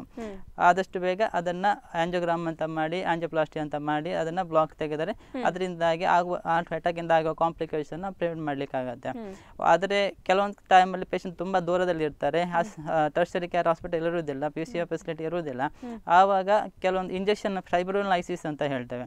ಆ ಫೈಬ್ರೋಲೈಸಿಸ್ ಕೊಟ್ಟಾಗ ಆ ಬ್ಲಾಕ್ ತೆಗೆಯುವ ಆ, ಕೆಲವೊಂದು ಸಲ ಇಂಜೆಕ್ಷನ್ ಕೊಟ್ಟು ಕೂಡಲೇ ವಿದಿನ್ ಸಿಕ್ಸ್ ಅವರ್ಸಲ್ಲಿ ಅದು ಕಂಪ್ಲೀಟ್ ಆಗಿ ಬ್ಲಾಕ್ ತೆಗೆಯುವ ಚಾನ್ಸಸ್ ಇರುತ್ತೆ. ಬಟ್ ಆ ಫೈಬ್ರಿನೈಸಿಸ್ ಆದ್ಮೇಲೂ ಅವರಿಗೆ ಆಂಜಿಯೋಗ್ರಾಮ್ ಅವಶ್ಯಕತೆ ಇರುತ್ತೆ. ಯಾಕಂದ್ರೆ ಅದು ಕೆಲವು ಸ್ಟಡೀಸ್ ಪ್ರಕಾರ ಅದು ಕಂಪ್ಲೀಟ್ ಆಗಿ ಬ್ಲಾಕ್ ಅನ್ನು ರಿಮೂವ್ ಮಾಡುವುದಿಲ್ಲ. ಓಕೆ ಡಾಕ್ಟರ್ ಹಾಗೇನೆ ಡಾಕ್ಟರ್ ಈ ಹೃದಯಾಘಾತ ಆದಾಗ ಮನೆಯಲ್ಲಿ ಅಥವಾ ಸಂಬಂಧಿಕರು ಯಾವ ರೀತಿಯಾದಂತಹ ಫಸ್ಟ್ ಏಡ್ ಪ್ರಥಮ ಚಿಕಿತ್ಸೆಯನ್ನ ತಗೋಬೇಕು ಅಂತ ಹೇಳ್ತೀರಾ? ಹಾರ್ಟ್ ಅಟ್ಯಾಕ್ ಆದಾಗ ಯೂಶಲ್ ಆಗಿ ಫಸ್ಟ್ ಏಡ್ ಆಗಿ ಏನು ಟ್ರೀಟ್ಮೆಂಟ್ ಜಾಸ್ತಿ ಬರುವುದಿಲ್ಲ. ಆದಷ್ಟು ಹತ್ತಿರ ಇರುವ ಹಾಸ್ಪಿಟಲ್ಗೆ ಅವರನ್ನು ಇ ಸಿ ಜಿ ಮಾಡಿಸ್ಕೊಂಡು ಇ ಸಿ ಜಿಯಲ್ಲಿ ಚೇಂಜಸ್ ಇದ್ದರೆ ಎಲ್ಲಿ ಟರ್ಷರ್ ಕ್ಯಾಟ್ ಹಾಸ್ಪಿಟಲ್ ಇರುತ್ತೆ. ಅಲ್ಲಿ ಶಿಫ್ಟ್ ಮಾಡಬೇಕು. ಅಥವಾ ಯಾರ್ಯಾವ ಇಂಜೆಕ್ಷನ್ ಕೂಡ ಚಾನ್ಸಸ್ ಕೊಡ್ತಾರೆ. ಅಲ್ಲಿಗೆ ಶಿಫ್ಟ್ ಮಾಡಬೇಕಾಗತ್ತೆ. ಓಕೆ ಡಾಕ್ಟರ್ ಸಮಯ ಬಹಳ ಅಮೂಲ್ಯವಾದದ್ದು ಅಂತ ಈ ಮೂಲಕ ಹೇಳ್ತಾ ಇದ್ದೀರಿ. ಹಾಗೇನೆ ಈ ಪೋಸ್ಟ್ ಹೆಲ್ಪ್ ಲೈನ್ ಕೇರ್ ಅಂದರೆ ಚಿಕಿತ್ಸೆಯ ನಂತರ ಯಾವ ರೀತಿಯಾದಂಥ ಕ್ರಮವನ್ನು, ಯಾವ ರೀತಿ ಮುಂಜಾಗ್ರತಾ ಕ್ರಮ ಅಥವಾ ಜಾಗ್ರತೆಯನ್ನು ನಾವು ಕೈಗೊಳ್ಬೇಕು ಅಂತ ಹೇಳ್ತೀರಾ? ಪೇಷಂಟ್ ಟ್ರೀಟ್ಮೆಂಟ್ ಆದ ಕೂಡಲೇ. ಅವರಿಗೆ ಕೆಲವೊಂದು ಸಲ ಪೇಷಂಟ್ ಸ್ಟೇಬಲ್ ಆಗಿರ್ತಾರೆ. ಕೆಲವೊಂದು ಥರ ಪೇಷಂಟ್ ಅನ್ಸ್ಟೇಬಲ್ ಆಗಿರ್ತಾರೆ. ಸೊ ಟ್ವೆಂಟಿ ಫೋರ್ ಅವರ್ಸ್ ಅವರನ್ನ ಐ ಸಿ ಅಲ್ಲಿ ಇಡಬೇಕಾಗತ್ತೆ. ಕೆಲವೊಂದು ಸಲ ಪೇಷಂಟ್ ಇಂಟಿಬೇಕ್ ಇಂಟಿಬೇಟ್ ಆಗಿರ್ತಾರೆ ವೆಂಟಿಲೇಟರಲ್ಲಿ ಇರ್ತಾರೆ ರೆಸ್ಪಿರೇಟರ್ ಸಪೋರ್ಟಲ್ಲಿ ಇರ್ತಾರೆ ಕೆಲವೊಂದು ಸಲ ಹಾರ್ಟ್ ಬೀಟ್ ಕಮ್ಮಿ ಇದ್ದಾಗ ಟಿ ಪಿ ಅಂತ ಹಾಕ್ತೇವೆ ಅದರ ಸಪೋರ್ಟಲ್ಲಿ ಇರ್ತಾರೆ ಕೆಲವೊಂದು ಸಲ ಬಿ ಪಿ ಜಾಸ್ತಿ ಮಾಡ್ಲಿಕ್ಕೆ ಐ ಎ ಬಿ ಪಿ ಅಂತ ಹೇಳ್ತೇವೆ ಅದನ್ನ ಇಟ್ಟಿರ್ತೇವೆ ಅದು ಸಪೋರ್ಟ್ ಬೇಕಾಗತ್ತೆ. ಸೊ ಅದನ್ನ ಅವ್ರ ಪೇಷಂಟನ್ನು ಐ ಸಿ ಯು ಕ್ಯಾರಲ್ಲಿ ಇಡ್ತೇವೆ twenty four to forty eight hours observe ಮಾಡಬೇಕಾಗತ್ತೆ. ಕೆಲವೊಂದು ಕೆಲವೊಂದು ಕಾಂಪ್ಲಿಕೇಶನ್ ಬರುವ ಚಾನ್ಸಸ್ ಇರುತ್ತೆ twenty four forty eight hours ಅಲ್ಲಿ. ಅದು ನೋಡಿ ಒಂದು ವೇಳೆ ಅವರು ಸ್ಟೇಬಲ್ ಆದ್ರೆ ಅವರನ್ನ ಫೋರ್ಟಿ ಏಟ್ ಅವರ್ಸ್ ನಂತರ ವಾರ್ಡ್ಗೆ ಶಿಫ್ಟ್ ಮಾಡಬಹುದು ಓಕೆ ಡಾಕ್ಟರ್ ನೀವಾಗಲೇ ಡಯಾಗ್ನೋಸಿಸ್ ಬಗ್ಗೆ ಹೇಳಿದ್ರಿ. ಹಾಗೇನೆ ಟ್ರೀಟ್ಮೆಂಟ್ಸ್ಗಳ ಬಗ್ಗೆ ಇನ್ನಷ್ಟು ಹೇಳಬಹುದಾ? ಟ್ರೀಟ್ ಟ್ರೀಟ್ಮೆಂಟಲ್ಲಿ. ಡಯಾಗ್ನೋಸಿಸ್ ಆದ ಕೂಡಲೇ ಆದಷ್ಟು ಬೇಗ ಟ್ರೀಟ್ಮೆಂಟ್ ಮಾಡಿದರೆ ಆ ಪೇಷಂಟಿಗೆ ಆಗುವಂಥ ಕಾಂಪ್ಲಿಕೇಶನ್ ಪ್ರಿವೆಂಟ್ ಮಾಡ್ಬೋದು. ಸೊ ಟ್ರೀಟ್ಮೆಂಟಲ್ಲಿ ಕೆಲವೊಂದು ಗೋಲ್ಸ್ ಇರುತ್ತೆ. ಸೊ ಸಿಮ್ಟಮ್ಸು ನೀಡಲ್ ಟೈಮ್ ಅಂತ ಇರುತ್ತೆ ಸಿಂಪ್ಟಮ್ಸ್ ಅಂದರೆ ಪೇಷಂಟ್ ಸಿಂಪ್ಟಮ್ಸ್ ಸ್ಟಾರ್ಟ್ ಆಯಿತು ಪೇಷಂಟ್ ಬಂದ ಹಾಸ್ಪಿಟಲ್ ಮುಟ್ಟಿದೆ. ಅದು goal two to three hours ಅಂದರೆ ಈ ಸ್ಕೀಮಿಗೆ ಟೈಮ್ ಅಂತ ಇರುತ್ತೆ ಅದು ಒನ್ ಒನ್ ಟ್ವೆಂಟಿ ಮಿನಿಟ್ಸ್ ಅಂದರೆ ಎರಡು ಗಂಟೆ. ಯೂಜಲ್ ಆಗಿ ಎರಡು ಗಂಟೆ ಒಳಗೆ ನಾವು ಯಾವಾಗ ಟ್ರೀಟ್ಮೆಂಟ್ ಮಾಡಿ ಮುಗಿಸ್ತೇವೋ ಅದರಿಂದಾಗಿ ಹಾರ್ಟ್ಗೆ ಡ್ಯಾಮೇಜ್ ಆಗೋದು ಕಮ್ಮಿ. ಹಾರ್ಟಿಗೆ ಡ್ಯಾಮೇಜ್ ಆಗೋದಿಲ್ಲ ಒಂದು ಟ್ವೆಂಟಿ ಒನ್ ಟ್ವೆಂಟಿ ಮಿನಿಟ್ಸ್ಗಿಂತ ಜಾಸ್ತಿ ಆಗಿದ್ರೆ ಹಾರ್ಟ್ ಡ್ಯಾಮೇಜ್ ಆಗೋ ಚಾನ್ಸಸ್ ಇರುತ್ತೆ. ಇನ್ನೊಂದಂದರೆ ಡೋರ್ ಟು ಬಲೂನ್ ಟೈಮ್ ಅಂತ ಹೇಳ್ತದೆ. ಡೋರ್ ಟು ಒಂದು ಡೋರ್ ಟು ನೀಡಲ್ ನೀಡಲ್ ಅಂದರೆ ಹಾಸ್ಪಿಟಲ್ ಬಂದ ಮೇಲೆ ವಿದಿನ್ ತರ್ಟಿ ಮಿನಿಟ್ಸ್ ಒಳಗೆ ನಮಗೆ ಎಲ್ಲ ಡಯಾಗ್ನೋಸಿಸ್ ಆಗಿರಬೇಕು. ಇನ್ನೊಂದು ಡೋರ್ ಟು ನೀಡಲ್ ಡೋರ್ ಅಂದರೆ ಹಾಸ್ಪಿಟಲ್ ಬಂದ ಕೂಡಲೇ ಡೋರ್ ಟು ಬಲೂನ್ ಟೈಮ್ ಅದು ನೈಂಟಿ ಮಿನಿಟ್ಸ್ ಆಗಿರುತ್ತೆ. ಅಂದರೆ ಹಾಸ್ಪಿಟಲ್ ಬಂದ ಕೂಡಲೇ ವಿದಿನ್ ನೈಂಟಿ ಮಿನಿಟ್ಸ್ ಒಳಗೆ ಪೇಷಂಟ್ ಲ್ಯಾಬಲ್ಲಿ ಇರಬೇಕು. ಆಪರೇಷನ್ ಮಾಡಿ ನಾವು ಆ ಬ್ಲಾಕನ್ನು ತೆಗಿಬೇಕಾಗತ್ತೆ. ಸೊ ಇದೆಲ್ಲರಲ್ಲಿ ಒಂದು ಗೋಲ್ಡನ್ ಟೈಮ್ ಅಂದರೆ first sixty minutes so first sixty minutes patient symptoms onset ಆಗಿ ಸಿಕ್ಸ್ಟಿ ಮಿನಿಟ್ಸ್ ಒಳಗೆ ಎಲ್ಲ ನಾವು ಈ ರೀಪರ್ವಿಷನ್ ಸ್ಟಾರ್ಟ್ ಮಾಡಿದರೆ ಹಾರ್ಟಿನ ಕಂಡೀಷನ್ ತುಂಬ ಉತ್ತಮ ಆಗಿರುತ್ತೆ.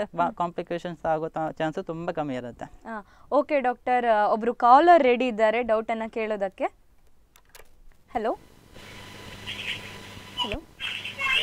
ಹಲೋ? ಹಾ ಸರ್ ಎಲ್ಲಿಂದ ಕರೆ ಮಾಡ್ತಾ ಇರೋದು? ಓಕೆ ಸರ್ ಡಾಕ್ಟರ್ ರೆಡಿ ಇದ್ದಾರೆ ನಿಮ್ಮ ಪ್ರಶ್ನೆಯನ್ನ ಕೇಳಬಹುದು.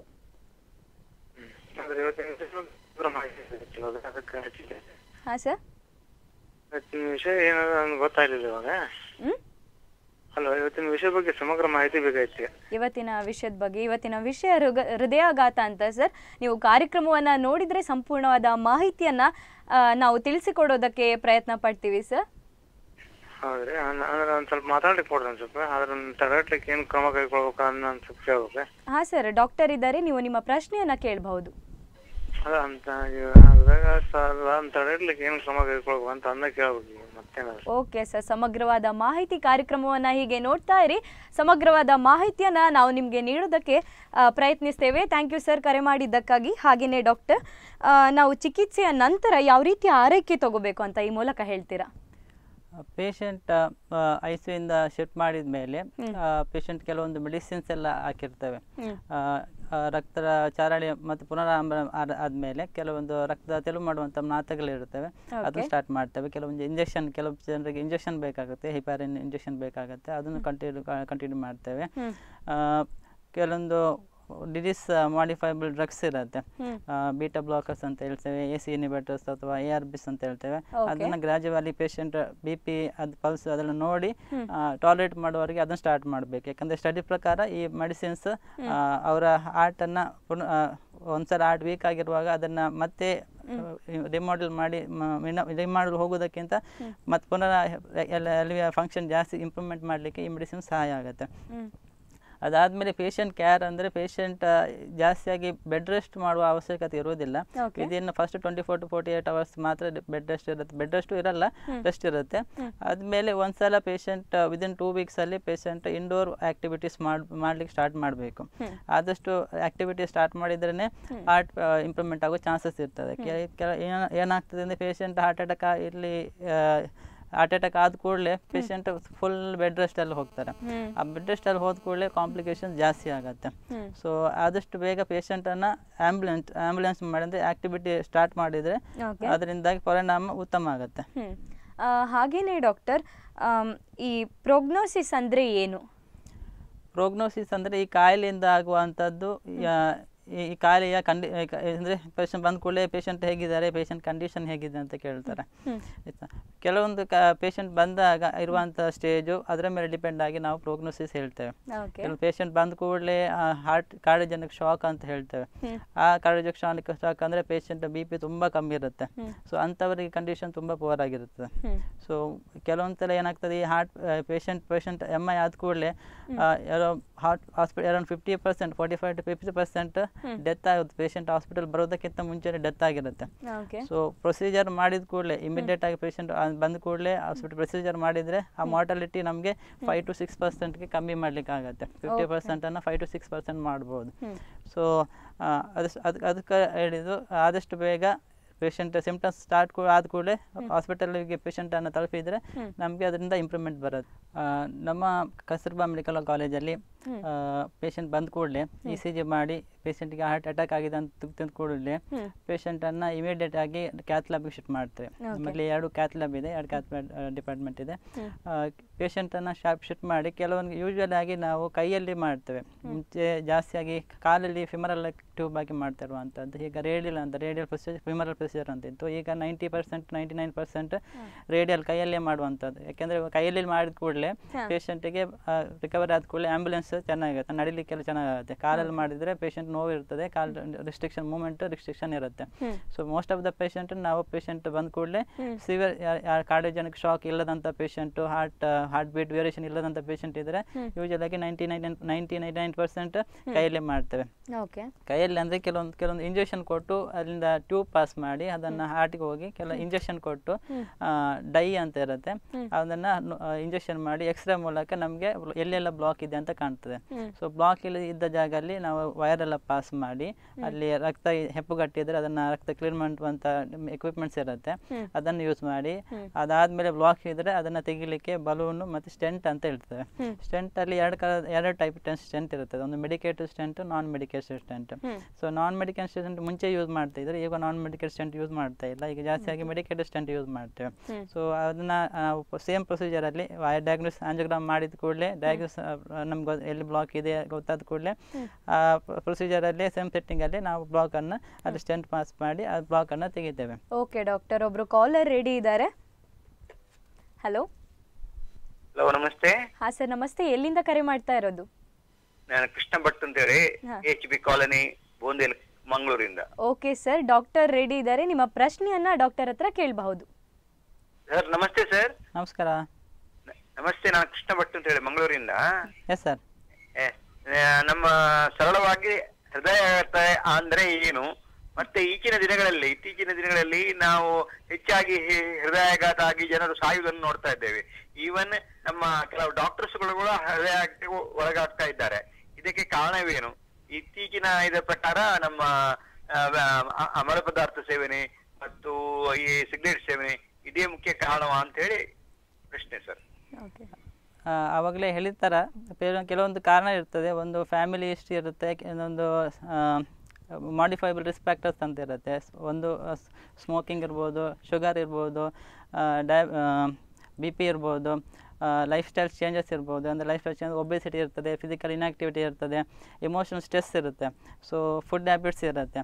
ಇವೆಲ್ಲ ರೀಸೆಂಟಾಗಿ ಜಾಸ್ತಿ ಆಗಲಿ ಕಾರಣ ಇವೆಲ್ಲ ಲೈಫ್ ಲೈಫ್ ಸ್ಟೈಲ್ ಮಾಡಿಫಿಕೇಷನ್ ಆಗಿರೋದ್ರಿಂದ.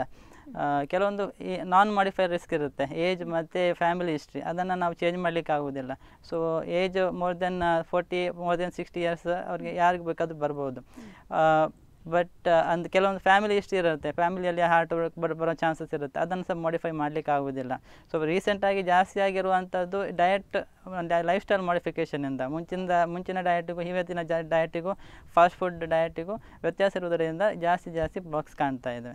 ಓಕೆ ಡಾಕ್ಟರ್ ಬಹುಶಃ ನಿಮ್ಮ ಪ್ರಶ್ನೆಗೆ ಉತ್ತರ ಸಿಕ್ಕಿದೆ ಅಂತ ಭಾವಿಸ್ತಾ ಕರೆ ಮಾಡಿದ್ದಕ್ಕಾಗಿ ಧನ್ಯವಾದಗಳು ಸರ್ ಡಾಕ್ಟರ್ ಈ ನೀವು ಹೇಳಿದ್ರಿ ನ್ಯೂಟ್ರಿಷನ್ ಮತ್ತು ಡಯಟ್ ಬಗ್ಗೆ. ಇದ್ರ ಬಗ್ಗೆ ಇನ್ನಷ್ಟು ಹೇಳಬಹುದಾ ಅಂತ? ನ್ಯೂಟ್ರಿಷನ್ ಅಂದರೆ ನಾ ಈಗ ಹೇಳಿದ ಪ್ರಕಾರ ಫುಡ್ ಯೂಶಲಿ ಪೇಷಂಟ್ಗೆ ಪೋಸ್ಟ್ ಪ್ರೊಸೀಜರ್ ಫುಡ್ಡಲ್ಲಿ ಅಲ್ಲಿ ನಾವು ಜಾಸ್ತಿ ರಿಸ್ಟ್ರಿಕ್ಷನ್ ಮಾಡೋದಿಲ್ಲ ಕೆಲವೊಂದು ಸಲ ಏನಾಗ್ತದೆ ನಾವು ಪೇಷಂಟ್ಗೆ ಹೇಳ್ತೇವೆ ಆ, ಸ್ವಲ್ಪ ಖಾಲಿ ಫುಡ್ ಅತಿಯಾಗಿ ಜಾಸ್ತಿ ಮಿತ ಮಿತವಾಗಿ ತಗೊಳ್ಬೇಕು ಅಂತ ಹೇಳ್ತೇವೆ. ಏನಾಗ್ತದೆ ಅಂದ್ರೆ ಪೇಷಂಟ್ ಮನೆಯಿಂದ ಹೋದ ಕೂಡಲೇ ಎಲ್ಲ ಫುಡ್ ರಿಸ್ಟ್ರಿಕ್ಷನ್ ಮಾಡಿಬಿಡುತ್ತೆ. ಅಂದ್ರೆ ನಾವು ಕೆಲವೊಂದು ಮೆಡಿಸಿನ್ಸ್ ಹಾಕಿರ್ತೇವೆ ಅದರಿಂದ ಗ್ಯಾಸ್ಟ್ರಿಕ್ ಆಗೋ ಚಾನ್ಸಸ್ ಜಾಸ್ತಿ ಇರುತ್ತೆ. ಸೊ ಆ ಫುಡ್ ಫುಲ್ ರಿಸ್ಟ್ರಿಕ್ಷನ್ ಮಾಡಿರ್ತೀವಿ ಏನು ಕೊಡುವುದಿಲ್ಲ ಅವರಿಗೆ. ಖಾಲಿ ಟೊಮೆಟೊ ನೀರು ಆ, ತರ ಥರ ತರಕಾರಿ ಇರುವಂಥದ್ದು ನೀರಿನ ಐಟಮ್ಸ್ ಸೂಪ್ ಐಟಮ್ಸ್ ಕೊಡ್ತಾರೆ. ಸೊ ಪೇಷಂಟ್ ಫುಲ್ ವೀಕ್ನೆಸ್ ಆಗಿರುತ್ತೆ ಪೇಷಂಟ್ ಗ್ಯಾಸ್ಟ್ರೈಟಿಸ್ ಆಗುತ್ತೆ. ಸೊ ಯಾಕೆಂದರೆ ಕೆಲವೊಂದು ಮಾತ್ರೆಯಿಂದ ನಾವು ಕೊಡೋ ಮಾತ್ರೆಯಿಂದ ಗ್ಯಾಸ್ಟ್ರಿಕ್ ಜಾಸ್ತಿ ಜಾಸ್ತಿ ಆಗುತ್ತೆ. ಸೊ ಜಾಸ್ತಿ ನಾವು ಫುಡ್ಡನ್ನು ಅಡ್ವೈಸ್ ಮಾಡುವಾಗ ಜಾಸ್ತಿ ಫುಡ್ ರಿಸ್ಟ್ರಿಕ್ಷನ್ ಮಾಡೋದಿಲ್ಲ ಜಾಸ್ತಿ ರಿಸ್ಟ್ರಿಕ್ಷನ್ ಅಂದರೆ ಎಣ್ಣೆ ಐಟಮ್ಸ್ ಎಣ್ಣೆ ಪದಾರ್ಥ ಐಟಮ್ಸನ್ನು ಕಮ್ಮಿ ಮಾಡಬೇಕು. ಮತ್ತೆ ಉಪ್ಪಿನ ಐಟಮ್ಸ್ ಸ್ವಲ್ಪ ಕಮ್ಮಿ ಮಾಡಬೇಕಾಗತ್ತೆ. ಓಕೆ ಡಾಕ್ಟರ್ ಹಾಗೆಯೇ ಹಾರ್ಟ್ ಅಟ್ಯಾಕ್ನಲ್ಲಿ ಉಂಟಾಗುವ ಕಾಂಪ್ಲಿಕೇಶನ್ಸ್ ಬಗ್ಗೆ ಇನ್ನಷ್ಟು ಹೇಳಬಹುದಾ? ಓಕೆ. ಮೇಯ್ನಾಗಿ ನಾವು ಹಾರ್ಟ್ ಅಟ್ಯಾಕ್ ಆದ ಕೂಡಲೇ ಪೇಷಂಟ್ ಅರ್ಲಿ ಟ್ರೀಟ್ಮೆಂಟ್ ಮಾಡಬೇಕು ಅಂತ ಹೇಳೋದು ಈ ಪ್ರಿವೆಂಟ್ಸನ್ ಕಾಂಪ್ಲಿಕೇಶನ್ ಕಾಂಪ್ಲಿಕೇಶನನ್ನು ಪ್ರಿವೆಂಟ್ ಮಾಡಲಿಕ್ಕೆ. ಹಾರ್ಟ್ ಕಾಂಪ್ಲಿಕೇಶನನ್ನು ಎರಡು ಥರ ಡಿವೈಡ್ ಮಾಡ್ಬೋದು. ಒಂದು ಮೆಕ್ಯಾನಿಕಲ್ ಕಾಂಪ್ಲಿಕೇಶನ್ ಎಲೆಕ್ಟ್ರಿಕಲ್ ಕಾಂಪ್ಲಿಕೇಶನ್ಸ್ ಅಂತ. ಸೊ ಮೆ ಮೆಕ್ಯಾನಿಕಲ್ ಕಾಂಪ್ಲಿಕೇಶನ್ಸಲ್ಲಿ ಹಾರ್ಟ್ನಿಂದ ಸ್ಟ್ರಕ್ಚರಲ್ಲಿ ಆಲ್ಟ್ರೇಷನ್ ಬರುತ್ತೆ. ಒಂದು ಪೇಷಂಟ್ ಹಾರ್ಟ್ ವೀಕ್ ಆಗಿ ಪಲ್ಮನ ಅಡಿಮ ಅಂತ ಹೇಳ್ತೇವೆ ಕಂಡೆಸ್ಟು ಕಾರ್ಡಿಕ್ ಕಾರ್ಡಿಕ್ ಫೇಲ್ಯೂರ್ ಅಂತ ಹೇಳ್ತೇವೆ ಹಾರ್ಟ್ ಹೃದಯ ವೈಫಲ್ಯ ಆಗುತ್ತೆ. ಕೆಲವೊಂದು ಸಲ ಕಾರ್ಡಿಯೋಜೆನಿಕ್ ಶಾಕ್ ಅಂತ ಹೇಳ್ತದೆ ಕಾರ್ಡಿಯೋಜೆನಿಕ್ ಶಾಕ್ ಅಂದರೆ ಬಿ ಪಿ ಕಮ್ಮಿ ಆಗುತ್ತೆ. ಎಲ್ಲೂ ಬಿ ಪಿ ರೆಕಾರ್ಡ್ ಮಾಡ್ಲಿಕ್ಕೆ ಆಗೋದಿಲ್ಲ ಹಾರ್ಟ್ ಫಂಕ್ಷನ್ ವೀಕ್ ಆಗಿರೋದ್ರೆ ಬಿ ಪಿ ರೆಕಾರ್ಡ್ ಮಾಡ್ಲಿಕ್ಕೆ ಆಗೋದಿಲ್ಲ. ಅದು ಜನಕ್ಕೆ ಶಾಕ್ ಆಗುತ್ತೆ. ಕೆಲವೊಂದು ವೆಂಟ್ರಿಕಲರ್ ಅನಿರಿಸಮ್ ಅಂತ ಹೇಳ್ತೇವೆ. ಅದು ಲೇಟರ್ ಕಾಂಪ್ಲಿಕೇಶನ್ ಹಾರ್ಟ್ ಆ ಜಾಗದಲ್ಲಿ ಹಾರ್ಟ್ ರಕ್ತ ಸಪ್ಲೈ ಆಗಿ ಆ ಜಾಗ ಮೂವ್ಮೆಂಟ್ ಆಗೋದು ಕಮ್ಮಿ ಆಗುತ್ತೆ. ಅಲ್ಲಿ ವೆಂಟ್ರಿಕಲರ್ ಅನಿರಿಸಮ್ ಅಂತ ಹೇಳ್ತೇವೆ. ಏನು ಕೆಲವು ಸೀರಿಯಸ್ ಕಾಂಪ್ಲಿಕೇಶನ್ ಅಂದರೆ ventricular septal rupture so ಇದಿಟ್ immediate within one to two ಅಲ್ಲಿ ಇದು ಟ್ರೀಟ್ಮೆಂಟ್ ಆಗಿದೆ ಮೂರನೇ ದಿವಸ ನಾಲ್ಕನೇ ದಿವಸ ಪೇಷಂಟ್ ರಪ್ಚರ್ ಪದ ಪರದ ಪರದೆ ಒಳಗಿನ ಪರದೆ ರಪ್ಚರ್ ಆಗ್ತದೆ. ವೆಂಟ್ರಿಕ್ಯುಲರ್ ಸೆಪ್ಟರ್ ರಪ್ಚರ್ ಅಂತ ಹೇಳ್ತದೆ. ಇದಕ್ಕಿಂತ ಸೀರಿಯಸ್ ಕಾಂಪ್ಲಿಕೇಶನ್ಸ್ ಅಂದರೆ ವೆಂಟ್ರಿಕ್ಯುಲರ್ ಫ್ರೀ ವಾರ್ ರಪ್ಚರ್ ಅಂತ ಹೇಳಿದ್ರೆ. ಸೊ ಫ್ರೀ ವಾರ್ ರಪ್ಚರ್ ಅಂದ್ರೆ ಹಾರ್ಟ್ ಹಾರ್ಟ್ನ ಹೊರಗಡೆ ಪದರನೇ ರಪ್ಚರ್ ಆಗಿಬಿಡುತ್ತೆ. ಇದು ತುಂಬ ಸೀರಿಯಸ್ ಕಂಡೀಷನ್ ಆಗುತ್ತೆ. ಟ್ರೀಟ್ಮೆಂಟ್ ಮಾಡೋದು ತುಂಬ ಕಷ್ಟ ಆಗುತ್ತೆ. ಓಕೆ ಡಾಕ್ಟರ್ ಹಾಗೇನೆ ಪ್ರಿವೆನ್ಷನ್ಸ್ ಬಗ್ಗೆ ಹೇಳಬಹುದಾ? ಇನ್ನೊಂದು ಕಾಂಪ್ಲಿಕೇಶನ್ಸ್ ಅಂದ್ರೆ ಎಲೆಕ್ಟ್ರಿಕಲ್ ಕಾಂಪ್ಲಿಕೇಶನ್ಸ್ ಇರುತ್ತೆ. Most of the death within percent hospital reach ಆಗೋದಕ್ಕಿಂತ ಮುಂತೆ ಆಗೋ ಡೆತ್ ಯೂಶಲಿ ಎಲೆಕ್ಟ್ರಿಕಲ್ ಕಾಂಪ್ಲಿಕೇಶನ್ಸ್ ಆಗಿ ಲೈಕ್ ವೆಂಟ್ರಿಕಲ್ ಫಿಬ್ರಿಲೇಷನ್ ಅಂತ ಹೇಳ್ತೇವೆ. Fifty percent of the cases of death are because of ventricular ventricular fibrillation rhythm changes ಆದರೆ ಅಲ್ಲಿ ಇದರ ಎಲ್ಲ ಇನ್ನೂ ಎಲೆಕ್ಟ್ರಿಕಲ್ ಕಾಂಪ್ಲಿಕೇಶನ್ಸ್ ಅಂದರೆ ವಿ ಟಿ ಆಗುತ್ತೆ ವಿ ಎಫ್ ಆಗುತ್ತೆ ಎ ಎಫ್ ಆಗುತ್ತೆ ಏಟ್ರಲ್ ಫಿಬ್ರಿಲೇಷನ್ ಆಗುತ್ತೆ. ಹಾರ್ಟ್ ಬ್ಲಾಕ್ ಬರೋ ಚಾನ್ಸ್ ಇದೆ ಕಂಪ್ಲೀಟ್ ಹಾರ್ಟ್ ಬ್ಲಾಕ್ ಬರುತ್ತದೆ. ಸೊ ಯೂಶುವಲ್ ಆಗಿ ರೈಟ್ ಸೈಡ್ ರಕ್ತನಾಳ ಬಂದಾಗ ಕಂಪ್ಲೀಟ್ ಹಾರ್ಟ್ ಬ್ಲಾಕ್ ಬರುತ್ತೆ. ಓಕೆ ಡಾಕ್ಟರ್ ಹಾಗೇನೆ ಈ ಹೃದಯಾಘಾತ ಆದ ಸಂದರ್ಭದಲ್ಲಿ ಡೀಪ್ ಬ್ರೀತಿಂಗ್ ತಗೋಬೇಕು ಅಂತ ಹೇಳ್ತಾರೆ ಜನರು. ಇದ್ರ ಬಗ್ಗೆ ನಿಮ್ಮ ಅಭಿಪ್ರಾಯ ಏನು? ಅಂದ್ರೆ ಪೇಷಂಟ್ ನಾ ಹೇಳಿದ ಪ್ರಕಾರ ಹಾರ್ಟ್ ಅಟ್ಯಾಕ್ ಅಂದರೆ ತುಂಬ ಸೀರಿಯಸ್ ಸೀರಿಯಸ್ ಪೇನ್ ಪೇಷಂಟ್ಗೆ ನೀವು ಅಲ್ಲಿ ಬ್ರೀದಿಂಗ್ ಎಕ್ಸಸೈಸ್ ಕಾಫ್ ಮಾಡಿ ಇದು ಮಾಡಿ ಅಂತ ಹೇಳುವಂಥ ಟೈಮ್ ಇರೋದಿಲ್ಲ ಹ್ಮ್. ಪೇಷಂಟ್ ಅದು ಮಾಡಲಿಕ್ಕೂ ಆಗೋದಿಲ್ಲ. ಅಷ್ಟು ಸೀರಿಯಸ್ ಇರ್ತದೆ ನೋವು ಬಂದಾಗ. ಸೊ ಬೆಟರ್ ಪೇಷಂಟ್ ಆ ಥರ ಸಿಂಪ್ಟಮ್ಸ್ ಬಂದ ಕೂಡಲೇ ಇಮಿಡಿಯೇಟ್ ಆಗಿ ನಿಯರ್ ಬೈ ಹಾಸ್ಪಿಟಲ್ಗೆ ಶಿಫ್ಟ್ ಮಾಡಬೇಕು. ಓಕೆ ಡಾಕ್ಟರ್ ಈ ಪ್ರೊಸೀಜರ್ ಮಾಡಲಿಕ್ಕೆ ನೀವು ಡಿಲೇ ಮಾಡಿದಷ್ಟು ಅವ್ರಿಗೆ ಕಾಂಪ್ಲಿಕೇಶನ್ ಜಾಸ್ತಿ ಆಗೋ ಚಾನ್ಸಸ್ ಇರುತ್ತೆ. ಓಕೆ ಹೃದಯಕ್ಕೆ ತೊಂದರೆ ಜಾಸ್ತಿ ಅಂತ ಹೇಳ್ತೀರಾ? ಹಾಗೇನೇ ಡಾಕ್ಟರ್ ಕೆ ಎಂ ಸಿ ಅಂದರೆ ಕಸ್ತೂರ್ಬಾ ಆಸ್ಪತ್ರೆ ಮಣಿಪಾಲಲ್ಲಿ ಯಾವ ರೀತಿಯಾದಂತಹ ಚಿಕಿತ್ಸೆಗಳು ಲಭ್ಯವಿದೆ ಡಾಕ್ಟರ್ ಅದೇ ಹೇಳಿದ್ದೇವೆ ನಮ್ಮದು ಎಮರ್ಜೆನ್ಸಿ ಡಿಪಾರ್ಟ್ಮೆಂಟ್ ಇರುತ್ತೆ. ಅದರದ್ದು ಸಪ್ರೇಟ್ ಆಗಿ ಫೆಸಿಲಿಟಿ ಇದೆ. ಎಮರ್ಜೆನ್ಸಿ ಡಾಕ್ಟರ್ಸೇ ಇರುತ್ತಾರೆ ಇರ್ತಾರೆ. ಆದರೂ ಹಾರ್ಟಿನ ಡಾಕ್ಟರು ಪೇಷಂಟ್ ಇಮಿಡಿಯೇಟ್ ಕೂಡಲೇ ಬಂದ ಕೂಡಲೇ ನಮ್ಮ ಅಸಿ ಡಾಕ್ಟರ್ಸ್ ಇರ್ತಾರೆ ಗಾಡಿ ಡಾಕ್ಟ್ರು ಎಮರ್ಜೆನ್ಸಿ ಪೇಷಂಟನ್ನು ಇ ಸಿ ಜಿ ಮಾಡಿ ಇಕೋ ಮಾಡಿ ಇಮಿಡಿಯೇಟ್ ಆಗಿ ಡಯಾಗ್ನೋಸ್ ಮಾಡಿ ಅವರನ್ನು ಕ್ಯಾತ್ ಲ್ಯಾಬ್ಗೆ ಶಿಫ್ಟ್ ಮಾಡುವಂಥ ಫೆಸಿಲಿಟಿ ಇರುತ್ತೆ. ಯೂಶ್ವಲ್ ಆಗಿ ವಿದಿನ್ ಒನ್ ಅವರ್ ಟೂ ಅವರ್ಸಲ್ಲಿ ಪೇಷಂಟ್ ಬಂದ ಕೂಡಲೇ ಕ್ಯಾತ್ ಲ್ಯಾಬ್ಗೆ ಶಿಫ್ಟ್ ಆಗಿರುತ್ತೆ. ಸೊ ಇದರ ಪ್ರೊಸೀಜರ್ ನಾವು ಅಂದರೆ ಎರಡು ಕ್ಯಾತ್ ಲ್ಯಾಬ್ ಇದೆ ನಮ್ಮ ಕಸ ಕರ್ಸು ಮೆಡಿಕಲ್ ಕಾಲೇಜಲ್ಲಿ ಇಮಿಡಿಯೇಟ್ ಆಗಿ ಒಂದು ಲ್ಯಾಬ್ ಫ್ರೀ ಇಲ್ದಿದ್ರೆ ಇನ್ನೊಂದು ಲ್ಯಾಬಲ್ಲಿ ಆದಷ್ಟು ಬೇಗ ಮಾಡಲಿಕ್ಕಾಗತ್ತೆ. ಓಕೆ ಡಾಕ್ಟರ್ ಹಾಗೇನೆ ಈ ಸಿಂಪ್ಟಮ್ಸ್ ಅಲ್ಲಿ ಆ, ಈ ಹೆಂಗಸರಿಗೆ ಅಥವಾ ಗಂಡಸರಿಗೆ ಬೇರೆ ಬೇರೆ ಸಿಂಪ್ಟಮ್ಸ್ ಆ ರೀತಿ ಏನಾದರೂ ಇದೆಯಾ? ಯೂಶಲ್ ಆಗಿ ಚೆಸ್ಟ್ ಪೇನ್ ಅದು ಹೇಳಲಿಕ್ಕೆ ಮರ್ತೋಯ್ತು ಆಗಿ ಚೆಸ್ಟ್ ಪೇನ್ ಬಂದಾಗ ಈ ಥರ ಸಿಂಪ್ಟಮ್ಸ್ ಬರೋದು usually fifty percent seventy seventy percent around twenty five percent ಏನು ಸಿಂಪ್ಟಮ್ ಇರಲಿಕ್ಕಿಲ್ಲ. ಸೊ ಜಾಸ್ತಿಯಾಗಿ ಓಲ್ಡರ್ ಪೀಪಲಲ್ಲಿ ಡಯಾಬಿಟಿಕ್ ಅಲ್ಲಿ ಮತ್ತೆ ಫೀಮೇಲ್ಸ್ ಅಲ್ಲಿ ಚೆಸ್ಟ್ ಪೇನ್ ಬರುವ ಚಾನ್ಸಸ್ ಕಮ್ಮಿ ಇರುತ್ತೆ. ಯೂಶಲ್ ಆಗಿ they don't have chest pain they can develop breathlessness breathing difficulty ಬರುತ್ತೆ. ದೇ ಹ್ಯಾವ್ ವೀಕ್ನೆಸ್ ಜನ್ ಕಂಪ್ಲೀಟ್ ವೀಕ್ನೆಸ್ ಆಗ್ಬೋದು. ಆಲ್ಟರ್ಡ್ ಸೆನ್ಸೋರಿಯಂ ಅಂತ ಹೇಳ್ತೇವೆ. ಪ್ರಜ್ಞೆ ಎಲ್ಡರ್ಲಿ ಅಲ್ಲಿ ಯೂಶಲ್ ಆಗಿ ಆಲ್ಟರ್ಡ್ ಬಿಹೇವಿಯರ್ ಬರುತ್ತೆ. ತುಂಬ ವೀಕ್ನೆಸ್ ಆಗಿ ಆಲ್ಟರ್ಡ್ ಬಿಹೇವಿಯರ್ ಬರುತ್ತೆ. ಆ ಥರ ಆಗೋ ಪ್ರೆಸೆಂಟೇಷನ್ ಬರುತ್ತೆ. ಓಕೆ ಡಾಕ್ಟರ್ ಹಾಗೇನೆ ಡಾಕ್ಟರ್ ಟ್ರೀಟ್ಮೆಂಟ್ ಅಥವಾ ಸರ್ಜರಿ ನಂತರ ಎಕ್ಸಸೈಸಸ್ ಹೆವಿ ಎಕ್ಸಸೈಸ್ ಆ ರೀತಿ ಮಾಡಬಹುದಾ ಅಂತ? ಹೆವಿ ಎಕ್ಸಸೈಸ್ ಯೂಶಲಿ ಎಲ್ಲ ಒಂದು ತಿಂಗಳ ತನಕ ನಾವು ಅವಾಯ್ಡ್ ಅವಾಯ್ಡ್ ಮಾಡ್ತೇವೆ. Patient but routine whatever are using ಮುಂಚೆ ಮಾಡ್ತಿರುವ ಪ್ರೊಸೀಜರ್ ಮುಂಚೆ ಮಾಡ್ತಿರೋ ಆಕ್ಟಿವಿಟಿ ಮನೆಯಲ್ಲಿ ಇಂಡೋರ್ ಆಕ್ಟಿವಿಟಿ ಯಾವುದೆಲ್ಲ ಇದೆ ಅದನ್ನು ಎಂಕರೇಜ್ ಮಾಡ್ತೇವೆ. ಸೊ ಇದೇನ್ ಪೇಷಂಟ್ ಡಿಸ್ಚಾರ್ಜ್ ಆದ ಕೂಡಲೇ ಯೂಶಲ್ ಆಗಿ three to four three to five ಡೇಸಲ್ಲಿ ನಾವು ಡಿಸ್ಚಾರ್ಜ್ ಮಾಡ್ತೇವೆ. ಬಟ್ ರೆಸ್ಟ್ರಿಕ್ಷನ್ ಅಂದರೆ ಬೆಡ್ ರೆಸ್ಟ್ ಅಂತ ಇರೋದಿಲ್ಲ. They have to do their in activity ಮಾಡ್ ಮಾಡಬೇಕು. ದೇ ಡೈಲಿ ಡೈಲಿ ಆಕ್ಟಿವಿಟಿ ಯಾವುದೆಲ್ಲ ಮಾಡ್ತಾರೋ ಅದು ಮಾಡಬೇಕು. But X vigorous exercise high walking brisk walking ಅದು ಒಂದು ತಿಂಗಳ ಮೇಲೆ. ಓಕೆ ಡಾಕ್ಟರ್ ಒಬ್ರು ಕಾಲರ್ ರೆಡಿ ಇದ್ದಾರೆ ಹಲೋ ಹಲೋ ಹಾಂ ಸರ್ ನಮಸ್ತೆ. ಎಲ್ಲಿಂದ ಕರೆ ಮಾಡ್ತಾ ಇರೋದು ಸರ್ ಮಂಗಳೂರಿಂದ. ಓಕೆ ಸರ್ ಡಾಕ್ಟರ್ ಇದ್ದಾರೆ ನಿಮ್ಮ ಪ್ರಶ್ನೆಯನ್ನ ಡಾಕ್ಟರ್ ಬಳಿ ಕೇಳಬಹುದು. ನಮಸ್ತೆ. ನಮಸ್ಕಾರ. ಸರ್ ಆಕ್ಚುಲಿ ನಿಜವಾಗಿ ನಮ್ಮ ಸಾಮಾನ್ಯ ಭಾಷೆಯಲ್ಲಿ ನಮ್ಮ ಸಾಮಾನ್ಯ ಭಾಷೆಯಲ್ಲಿ ನಮ್ಮ ಸಾಮಾನ್ಯ ಭಾಷೆಯಲ್ಲಿ ಈಗ ಹೃದಯಾಘಾತ ಅಂದ್ರೆ ಏನು? Okay sir. ಹೃದಯಾಘಾತ ಅಂದ್ರೆ ಏನು? ಹೃದಯಾಘಾತ ಅಂದ್ರೆ ಯೂಶಲಿ ಹಾರ್ಟ್ ರಕ್ತನಾಳದಲ್ಲಿ ಮೂರು ರಕ್ತನಾಳ ಇರುತ್ತೆ. ಯಾವುದೇ ರಕ್ತನಾಳ ಕಂಪ್ಲೀಟ್ ಆಗಿ ಬ್ಲಾಕ್ ಆದಾಗ ಅದಕ್ಕೆ ಹೃದಯ, ರಕ್ತ, ಹೃದಯಘಾತ ಅಂತ ಹೇಳ್ತೇವೆ. ನಿಮ್ಮ ಪ್ರಶ್ನೆಗೆ ಉತ್ತರ ಸಿಕ್ಕಿದೆ ಅಂತ ಭಾವಿಸ್ತಾ ಕರೆ ಮಾಡಿದ್ದಕ್ಕಾಗಿ ಧನ್ಯವಾದಗಳು ಸರ್ ಡಾಕ್ಟರ್ ಹಾಗೇನೆ ಕಸ್ತೂರ್ಬಾ ಆಸ್ಪತ್ರೆಯಲ್ಲಿ ಚಿಕಿತ್ಸೆಗೆ ಸಂಬಂಧಪಟ್ಟ ಯಾವುದಾದ್ರೂ ರಿಯಾಯಿತಿಗಳು ಇದೆಯಾ ಅಂತ? ಕೆಲವೊಂದು ಸ್ಕೀಮ್ಸ್ಗಳು ನಾವು hospital K M C hospital Manipal hospital ಇದೆ ಕೆಲ ಬಿ ಪಿ ಎಲ್ ಸ್ಕೀಮ್ ಇದೆ ಎ ಪಿ ಎಲ್ ಸ್ಕೀಮ್ ಇದೆ. ಮತ್ತು ಕೆಲವೊಂದು ಇ ಎಸ್ ಐ ಇದೆ. ಕೆಲವೊಂದು ಟ್ರಸ್ಟ್ಗಳಿಂದ ಲೈಕ್ ಜಿ ಶಂಕರ್ ಟ್ರಸ್ಟಿಂದ ಕೆಲವೊಂದು ಧರ್ಮಸ್ಥಳದ ಟ್ರಸ್ಟಿಂದ ಕೆಲವೊಂದು ರಿಯಾಯಿತಿಗಳು ಸಿಗುತ್ತೆ. ಸೊ ಯೂಶಲ್ ಆಗಿ ಬಿ ಪಿ ಎಲ್ ಕಾರ್ಡ್ ಇದ್ದವರಿಗೆ ಕಂಪ್ಲೀಟ್ ಆಗಿ ಫ್ರೀ ಆಗಿ ಟ್ರೀಟ್ಮೆಂಟ್ ಕೊಡ್ತೇವೆ. ಓಕೆ ಎ ಪಿ ಎಲ್ ಕಾರ್ಡಲ್ಲಿ ಅರೌಂಡ್ ತರ್ಟಿ ಪರ್ಸೆಂಟ್ ಅವರಿಗೆ ಪೇಮೆಂಟ್ ಬರುತ್ತದೆ. ಸೆವೆಂಟಿ ಪರ್ಸೆಂಟ್ ಸೆವೆಂಟಿ ಪರ್ಸೆಂಟ್ ಅವರಿಗೆ ಪೇಮೆಂಟ್ ಬರ್ತದೆ. ತರ್ಟಿ ಪರ್ಸೆಂಟ್ ಗೌರ್ಮೆಂಟಿಂದ ಸಿಗುತ್ತೆ. Okay doctor E S I ಇದ್ದವರಿಗೆ ಕಂಪ್ಲೀಟ್ ಆಗಿ ಫ್ರೀ ಆಗಿ ಟ್ರೀಟ್ಮೆಂಟ್ ಆಗುತ್ತೆ. ಓಕೆ ಡಾಕ್ಟರ್ ಡಾಕ್ಟರ್ ಕೊನೆಯದಾಗಿ ವೀಕ್ಷಕರಿಗೆ ಹೃದಯಾಘಾತದ ಬಗ್ಗೆ ಏನನ್ನ ಹೇಳೋದಕ್ಕೆ ಇಷ್ಟಪಡ್ತೀರಾ? ಹೃದಯಾಘಾತ ಎಂಬುದು ಸೀರಿಯಸ್ ಕಾಯಿಲೆ. ಆದಷ್ಟು ಪೇಷಂಟ್ ಎದೆ ನೋವು ಬಂದ ಕೂಡಲೇ ಆದಷ್ಟು ಬೇಗ ನಿಯರ್ ಬೈ ಹಾಸ್ಪಿಟಲ್ಗೆ ಹೋಗಿ ಇ ಸಿ ಜಿ ಮಾಡಿಸಿ ಟ್ರೀಟ್ ಡಯಾಗ್ನೋಸಿಸ್ ಮಾಡಬೇಕು. ಹಾರ್ಟ್ ಅಟ್ಯಾಕ್ ಆಗಿದೆ ಅಂತ ಡಯಾಗ್ನೋಸಿಸ್ ಮಾಡಬೇಕು. ಒಂದು ವೇಳೆ ಎದೆ ನೋವು ಹಾರ್ಟ್ ಅಟ್ಯಾಕಿಂದ ಆಗಿರೋದಾಗಿದ್ದರೆ ಇಮಿಡಿಯೇಟ್ ಆಗಿ ಟ್ರೀಟ್ಮೆಂಟ್ ಮಾಡಿದರೆ ಬೆಟರ್ ಪೇಷಂಟ್ ಸರ್ವೈವಲ್ ಬೆಟರ್ ಆಗುತ್ತೆ. ಪೇಷಂಟ್ ಮುಂದಿನ ಜೀವನ ಉತ್ತಮ ಆಗಿರುತ್ತೆ. ಒಂದು ವೇಳೆ ತುಂಬ ಲೇಟಾಗಿ ಪ್ರೆಸೆಂಟ್ ಮಾಡಿದರೆ ಹಾರ್ಟ್ ತುಂಬ ವೀಕ್ ಆಗಿರುತ್ತೆ. ಆ್ಯಂಡ್ ಪೇಷಂಟ್ ತುಂಬ ಸಫರ್ ಮಾಡಬೇಕಾಗತ್ತೆ. Okay doctor. ನಮ್ಮ ಕಾರ್ಯಕ್ರಮಕ್ಕೆ ಬಂದು ಹೃದಯಾಘಾತ ಈ ಬಗ್ಗೆ ಸಂಪೂರ್ಣವಾದ ಮಾಹಿತಿಯನ್ನು ನಮ್ಮ ವೀಕ್ಷಕರಿಗೆ ತಿಳಿಸಿಕೊಟ್ಟಿದ್ದಕ್ಕಾಗಿ ವೀಕ್ಷಕರ ಪರವಾಗಿ ಹಾಗೆಯೇ ಡೈಜಿ ವರ್ಲ್ಡ್ ವಾಹಿನಿಯ ಪರವಾಗಿ ಧನ್ಯವಾದಗಳು.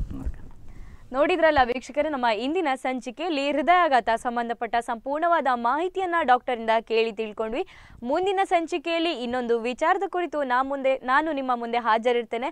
ಅಲ್ಲಿವರೆಗೂ ನಿರಂತರ ಸುದ್ದಿ ಹಾಗೂ ಮನೋರಂಜನೆಗಾಗಿ ನೀವು ನೋಡ್ತಾ ಇರಿ ಡೈಜುವಲ್ ಟ್ವೆಂಟಿ ಫೋರ್ ಸೆವೆನ್.